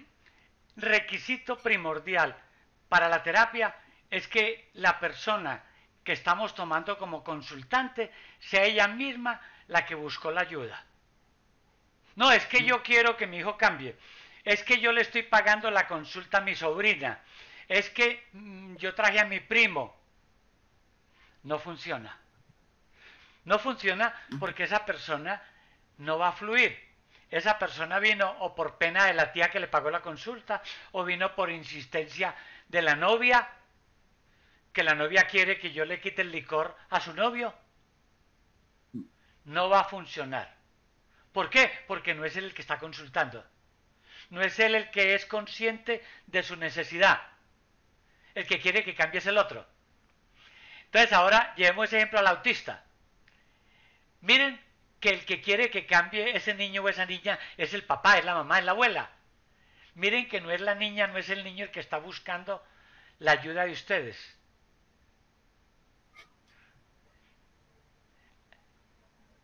Ahora pongamos otro ejemplo también relacionado con el autista. Va un avión, 25.000 pies de altura, y avisa la zafata, señores pasajeros, estamos en emergencia. El piloto acaba de tener un infarto, está inconsciente. ¿Quién de ustedes es piloto para que pase al mando del avión? Nadie alza la mano. Ella preguntó quién es piloto. Nadie. Pero la gente está muy preocupada. Entonces, se levantó alguien y dijo, señorita, yo no soy piloto, pero si a mí me explican cómo manejar el avión, yo lo manejo. Ah, bueno, señor, pase usted. Hicieron al piloto a un lado inconsciente. Ya un médico vino a ver cómo le podía ayudar. Y esta persona de los pasajeros se sentó en la silla de mando del avión. Si me explican cómo yo lo manejo. Entonces, listo. Le ponen estos aparatos a él y desde la torre de control, un piloto profesional que maneje ese mismo tipo de avión le está diciendo, mire, a su derecha hay una palanca negra, muévala un poquito hacia adelante. ¿Qué marcó esa pantalla al frente? No, eso se inclinó un poquito así. ¿Cuánto marcó? 15, listo. Déjela ahí. Ahora, observe que hay una pantalla que tiene una palanca verde claro, más bien amarillo, a su izquierda. ¿La ve? Sí, la veo. Jale un poquito de esa palanca. Ahora, eh, como se da cuenta, tiene un sol frontal.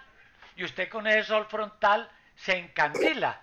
Póngase unas gafas solares. Entonces la persona se pone unas gafas solares.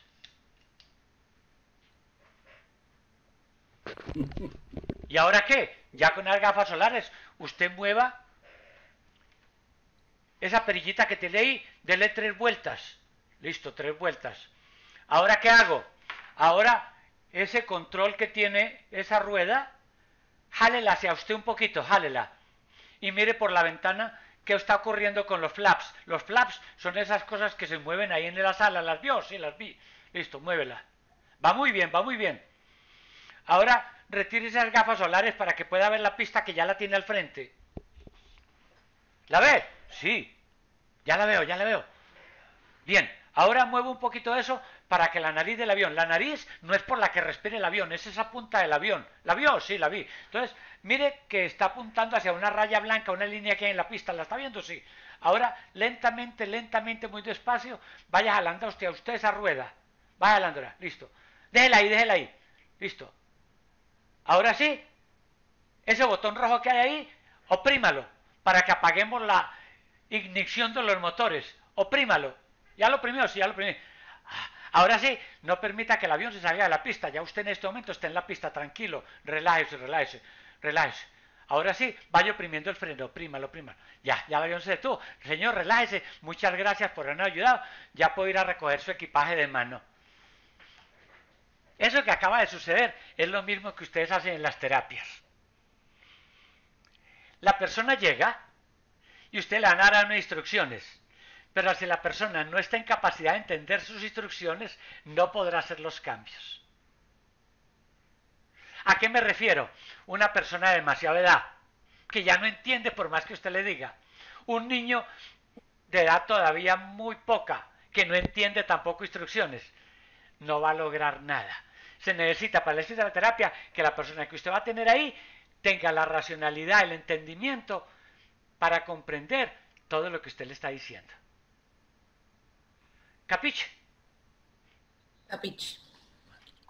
Muy bien. Me gustaría hacerles una pregunta a los dos, tal vez aprovechando que está Luis Carlos Barboto con nosotros y Aurelio que tú le has cedido también este lugar a él. Em, que nos puedan contar entre los dos, hacer de repente un contrapunto, ¿no? ¿Qué es lo que nos permite la hipnosis? Potenciar qué recursos, despertar, qué es, qué es lo que nos permite positivamente la hipnosis, el trabajo en terapia con hipnosis. Luis Carlos. No entiendo la pregunta. ¿Qué nos permite a nosotros o a los... Que sí nos a los pacientes, a las personas, a los consultantes. Yo diría que la labor del, eh, hipnoterapeuta es ayudarle a que la persona tome conciencia de la emoción negativa que él tiene, emoción negativa que está producida por una vibración de su espíritu negativa en algún momento de su existencia, para que él con su libre albedrío sea capaz de cambiarlo utilizando el poder de la mente. Cuando la mente es capaz de imaginarse, entonces en el cerebro se producen unos fenómenos hermosos y es que desde ese neocórtex le va a enviar al sistema límbico, que es donde están las emociones, que ya no lo voy a vivir con emoción negativa, sino que lo voy a vivir con emoción positiva. Entonces es ayudarle a esa persona a que logre entenderlo, que él lo sepa. Yo se lo explico mucho antes de que empiece cómo va a ser el proceso. Y es, es verdaderamente milagroso cuando la persona lo hace, cuando no se le explica, es un poco más difícil. También se puede conseguir, pero cuando uno le explica qué es lo que va a suceder, qué es lo que va a hacer, que eso lo va a hacer él, que él tiene toda la capacidad. Casi como decía Aurelio ahora, usted va a ser capaz de manejar el avión, yo le voy a decir cómo lo va a hacer. Y usted entonces en ese momento, en vez de rabia y odio, va a sentir eh, paz, armonía, tranquilidad y perdón. Y, y, entonces, ahora, ¿cómo te sientes? No, ya me siento bien y es llevarlo a ese punto, no más, es orientarlo para que él se sane, él mismo se va a sanar. Era la pregunta si fuera distinta. Sí, hacia, hacia, hacia esos recursos que también vamos, eh, las personas que vivimos experiencias de hipnosis, em, nos permite como, como, generar otros recursos también, el recurso de la memoria para poder acceder a aquellos recuerdos, sanarlos, con los recursos de, la sanación del propio cuerpo, en, todo esto, ¿no? Como haciendo un resumen de lo que Aurelia vos estabas diciendo hoy, el cuerpo que a veces eh, a través de estos síntomas psicofísicos este, tiene una dolencia en el cuerpo y nosotros con la hipnosis podemos ayudar a sanar gracias a los recursos del cuerpo, los recursos biofísicos, digamos. Podemos resumir eso en dos frases. Sí. Si el problema tiene solución, ¿para qué te preocupas? Y si no tiene solución, ¿qué arreglas con la preocupación? Y la segunda es, si quieres cambiar algo, tienes que cambiar. Porque si sigues pensando como venías pensando, el resultado será el mismo. Entonces lo que yo voy a hacer, ayudarte es a cambiar de pensar, para que pienses diferente. Porque si sigues pensando y actuando como lo has venido haciendo, el resultado será el mismo. Te tiene que cambiar hoy y el que tiene que cambiar es usted, yo no lo va a cambiar. Que lo va a cambiar ya usted que apenas la acabo de conocer. Bien, eh, Silvio Ricardo. Sí, por mi parte, María José, yo tengo dos preguntas más, o sea, dos personas más que quieren hablar. No sé cómo andamos de tiempo, que estamos ahí, eh, si mal no me equivoco, nos quedarán 15 minutos, ¿no? para dar un cierre lindo y hermoso. Este, entonces vamos a darle la palabra a Luciana. Luciana, habilita tu mic y pregunta. Y decide decirnos de dónde sos. Hola, ¿qué tal? Bueno, agradecerle al equipo porque la verdad que es un placer esto. Aurelio, Luis Carlos que no lo conocía y me encanta cómo habla y cómo se explica. Así que ahora voy a, estudiar a ver un poco de, quién es Luis Carlos también. Eh, Aurelio, bueno, yo antes preguntaba de ese tema de cuándo saber cuándo es un plan álmico ante un problema de una persona. Hay muchas personas que no te entienden lo que es más allá de la espiritualidad. Eh, entonces, a veces en algún problema lo queremos tratar de solucionar con la mente, pero llega un momento que te das cuenta que es un plan álmico y tiene que venir a pasar eso sí o sí, y usted habló un poco de eso. Y la segunda pregunta que había hecho era para Aurelio, cuando nombró de alguien eh, que no se deja llevar.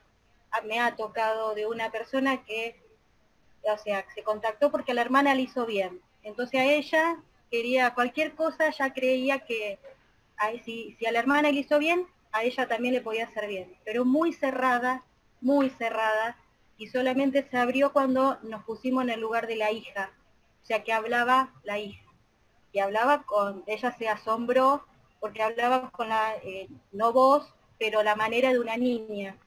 Y la niña eh, cuando se pone en ese lugar, la verdad que estuvo muy bueno y entendió, que no sé si terminó de entender, eh, lo que le pasaba a la nena que no dormía en todas las noches, que era una sombra negra que la nena veía todas las noches, que aparentemente podía ser el suegro.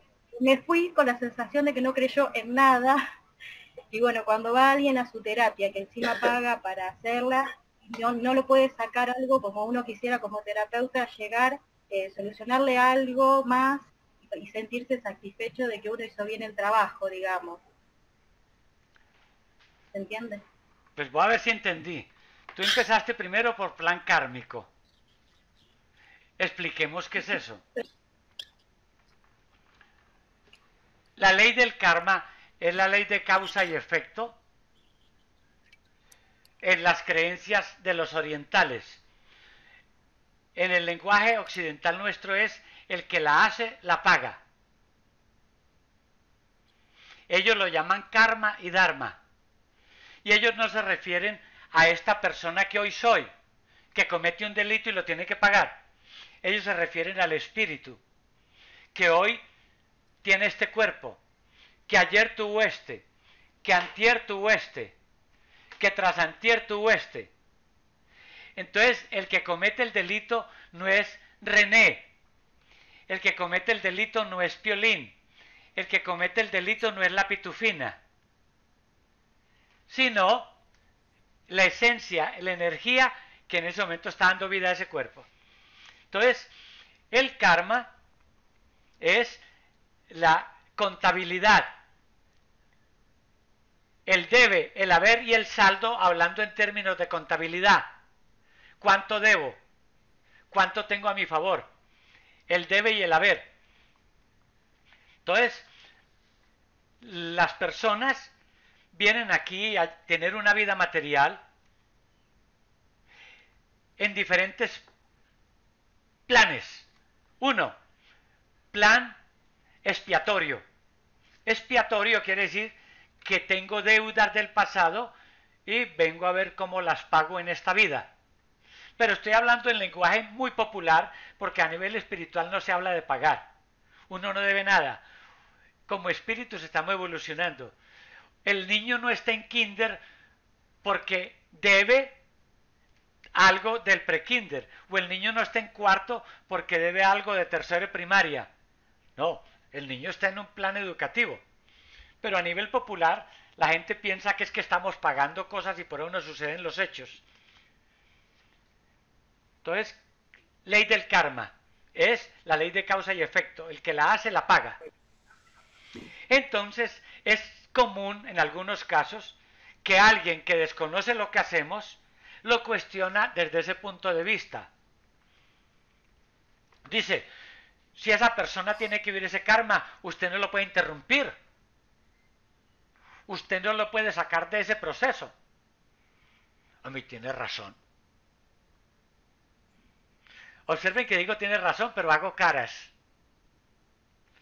Porque desde mi punto de vista, pudiéramos juzgar al cirujano que está extrayendo un órgano que está defectuoso.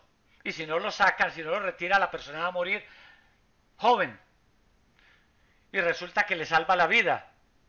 Y lo mismo podríamos hablar del carpintero que le reparó la silla a esa persona que le está maltratando esa silla y le dice, para que no le maltrate más, se la voy a reparar. Entonces, ¿y por qué le dañó ese karma? Si esa persona tenía que sufrir con esa silla, ¿por qué se la cambió?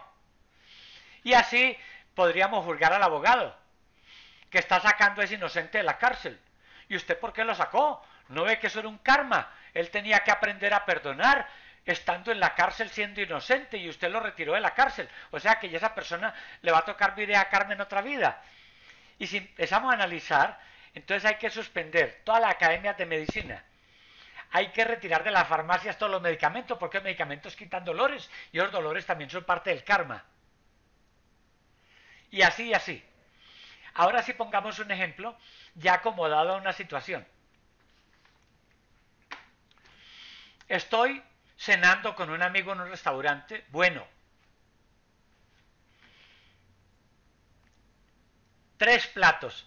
porque eso fue en Europa. Y ustedes saben que en Europa, en España, tenemos tres platos. La entrada de un plato y el... Ah, todavía me estoy saboreando. Y estoy con el, el mondadientes, con el palillito limpiándome. Salgo a la calle, voy caminando con mi amigo por la vereda, por la banqueta, por la acera. Y hay una señora que está sentada ahí, ahí un lado, recostada en la pared, muy humilde, muy pobre, tiene una pierna con una llaga y me dice, estirándome la mano, Señor, tengo hambre, ¿me, das con, ¿me da con qué comprar unos panes? Y yo le digo, vea señora, no me hable de comida, que en este momento estoy de comida hasta aquí, todavía la estoy erutando. Y además lo que usted tiene es su karma. Vívalo. Oye Roberto, sigamos caminando. ¿Quién sabe qué karma tan tenaz tiene esa señora? ¿La viste como tiene esa llaga en la pierna? Vamos a tomar un cafecito para pasar esta comida que todavía la tengo hasta aquí. Caso 1. Caso 2. Estamos en el restaurante Luis Carlos y yo. Y estamos también con Alan Cardé, estamos los tres.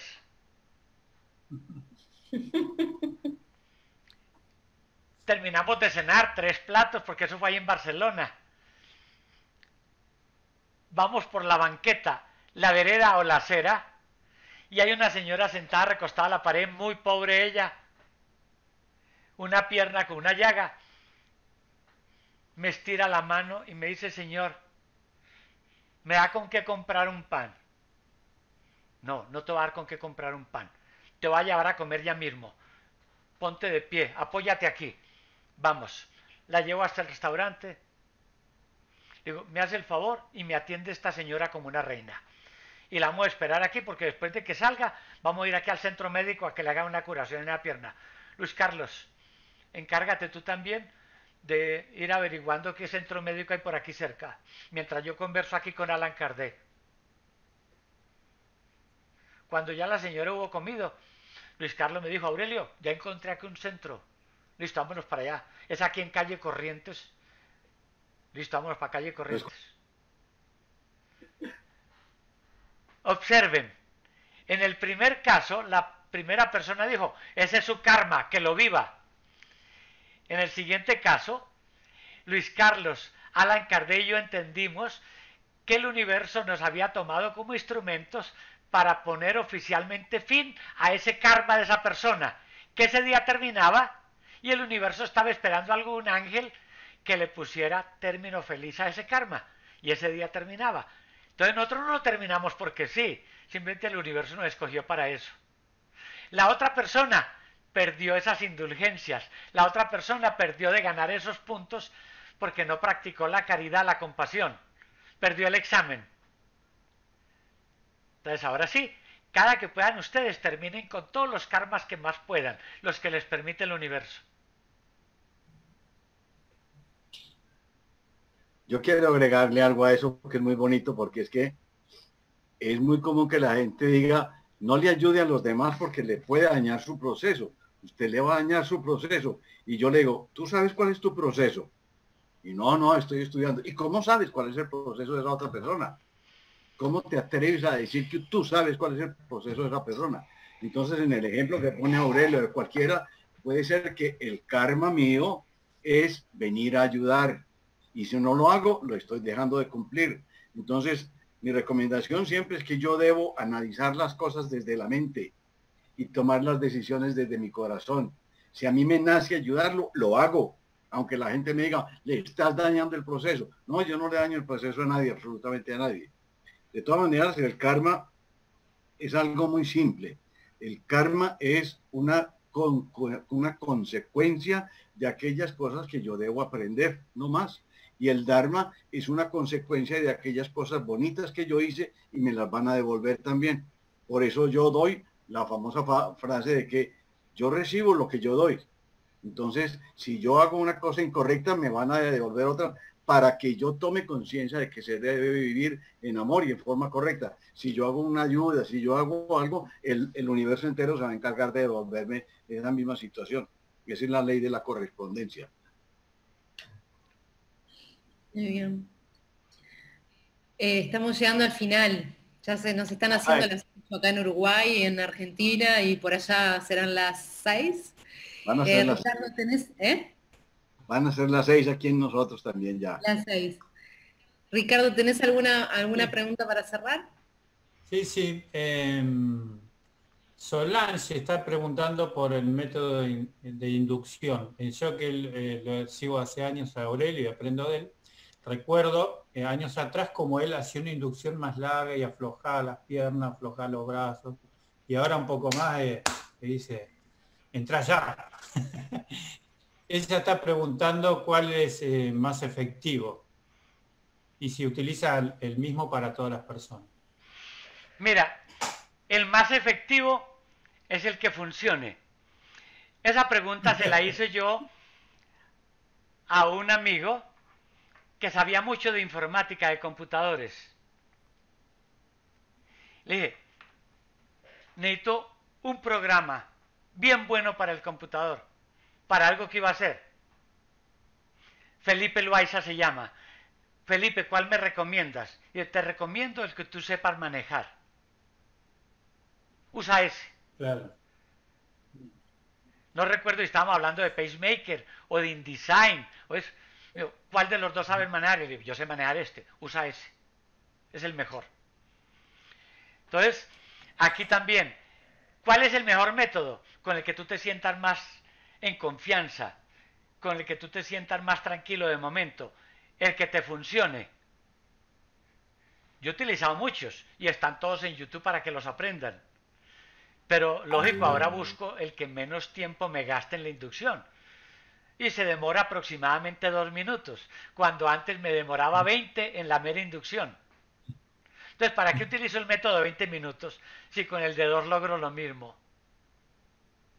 Pero, y eso depende de cada persona también, porque a veces hay, este, como decimos acá, eh, un hueso duro de roer y bueno, hay que buscar aplicar otro tipo de, de técnicas. Hay gente que tal vez le guste más eh, en mi caso viene mucha gente que le encanta ser escuchada. Entonces me tomo mi tiempo para que hable y cuando termine de hablar empiezo a hablar yo. Mi mejor método es hablarle yo, se duermen enseguida. Y funciona de maravillas. Esa es la otra herramienta, pero se lo explico todo en el libro. Descarguen mi libro del sitio www.aureliomejía.com. Se lo repito, aureliomejía.com. Entren a ese sitio y descarguen gratuitamente el libro que tiene más de 400 páginas donde yo explico todo. Ahí en ese sentido, Aurelio, con toda su generosidad, su humildad, ha logrado que todo su material, todas las cosas que él eh, investiga, produce, crea, este, que además ya han visto que es un máster en, en hacer este, cuentos, historias y, metáforas. Eh, es muy aprovechable todo el material que él tiene y en la web www.aureliomejía.com está toda esa información eh, que ustedes, con la que ustedes pueden acceder. Eh, agradecerte, Aurelio, inmensamente por todo este tiempo que nos has dedicado. quiero que sepas que sí, Luis. Yo también quiero ofrecerles el libro mío. Ya hay una página que se llama elamoresoy.org y allí encontrarán un libro que se llama El amor es hoy, que no habla de hipnosis, habla de los de los métodos del amor, de la vivencia, del perdón, de la paciencia, de todo lo que es la vivencia en la vida. Y allí se puede bajar gratuitamente también ese libro. También hacemos cursos en la página El Amor es Hoy. Encontrarán un montón de cursos. Candy en este momento está haciendo un curso con nosotros que dura cinco semanas, donde hacemos un recorrido de quién soy yo antes de que salga de la luz, cómo hago para llegar a este punto, cuál es el plan de mi alma, después cuando llego aquí, cómo hago este proceso en la vida, cómo hago para vivirlo y tomar conciencia del amor que yo soy, cómo me preparo para mi trascendencia, cómo es el momento de trascender, qué nos ocurre después de trascender y después hago un capítulo que eh, se llama la hipnosis como herramienta. Son cinco capítulos nomás. Y a los interesados en Luis Carlos, vos, perdón, Luis Carlos, vos haces vivos también los jueves, ¿no? ¿O no? Y los jueves también, los jueves a las ocho y media de la noche, hora de Colombia, hacemos un vivo y el tema todavía no lo sé, eso lo, lo tomamos eh, cada semana y vamos hablando de un tema y otro tema y otro tema y hacemos una meditación también en ese, en ese vivo. Sí, así se los recomiendo, por favor, no se lo pierdan este, algún jueves que estén ahí que no saben qué hacer. Vayan al canal de Luis Carlos, se los recomiendo. Repite, el nombre del canal. Se llama El Amor es Hoy. Se llama El Amor es Hoy en, en YouTube o en Instagram, en los dos. Y el canal de eso después pasa al, canal de, de, YouTube que tenemos, pero, pero eso se hace en vivo en Instagram y, en eh, YouTube eh, y en Facebook. Y en mi canal aureliomejía.com se ofrecen también los cursos que dictamos de hipnosis presenciales y virtuales por internet. Vayan y consulten la agenda de cursos. María, Aurelio, este, ¿empezaste a hacer las, las sesiones online, eh, las, los cursos? Sí, ya estamos programando uno para octubre, un curso de hipnosis online con Domenico Leone y con Jader, que ahí están también en este momento por si quieren dar alguna explicación del curso. María, eh, podemos eh, ir teniendo en cuenta para hacer otra, otra reunión con Aurelio, que seguramente todos los alumnos que tenemos con Silvia van a estar eh, contentos de seguir profundizando en el método. No hablamos de los espíritus, y algunas dificultades que se presentan al momento de, la hipnosis, ¿no? Que para mí fue uno de los obstáculos más complicados. Así que bueno, muchas gracias a todos, ¿no? Muchas gracias, Aurelio. queda, abierta, como siempre, la posibilidad de que podamos volver a encontrarnos nosotros, todos los que estuvimos hoy, y, y que se sigan sumando terapeutas, gente que está estudiando y gente que, que quiere conocer un poco más acerca de, la hipnosis y los procesos mentales. Así que agradecerte de corazón, Aurelio, te quiero mucho, sabes que sos un referente por acá y que cuando todo esto pase y si andás este, subiéndote un avión en algún otro momento, te esperamos por acá nuevamente para que vengas a dar ahora sí tu curso, que ya vas a empezar a hacer online, pero que también lo puedes hacer presencial y que es sumamente enriquecedor lo que se aprende. Eh, y Luis Carlos, agradecerte a ti, primera vez que, recién te conocí, te conocí hace un rato en realidad, porque en realidad Silvia me contó de ti y estuvimos entrando a, tu Facebook, así que agradecerte también tu buena onda, como decimos por acá. Muchas gracias. Muchas gracias a todos. Yo agradecerle a los maestros y a los colegas entrañables que están ahí siempre presentes, como eh, Rocío, Candy, eh, Jader, bueno, eh, si me olvido de, uno, de alguno, perdón, Suyapa, son Yolanda, excelentes. de Canadá. Claro, este, así que muchísimas gracias por hacer esto posible y muchas gracias a vos, María José, por eh, tomarte el trabajo de hacer todo, todo esto para los uruguayos, argentinos y para todo el mundo en realidad. Por allí está Pepe también, Pepe Vergara. No, es que hay muchos conocidos, aquí estoy mirando. Sí, sí, sí, sí. Ahí está Suyapa también, que nos vimos en la mañana. Abrazos, Suyapa. Suyapa está por ahí. Uy, saludos. Mi corazoncito para todos. Ahí va. Ahí está. Bueno, un abrazo grande y muchísimas gracias por haber estado a todos y todas las, los que se contactaron y sean felices. Cuídense mucho. Adiós. Chao. Gracias. Eso. Abrazo. Chao, Marina. Chao, Solange.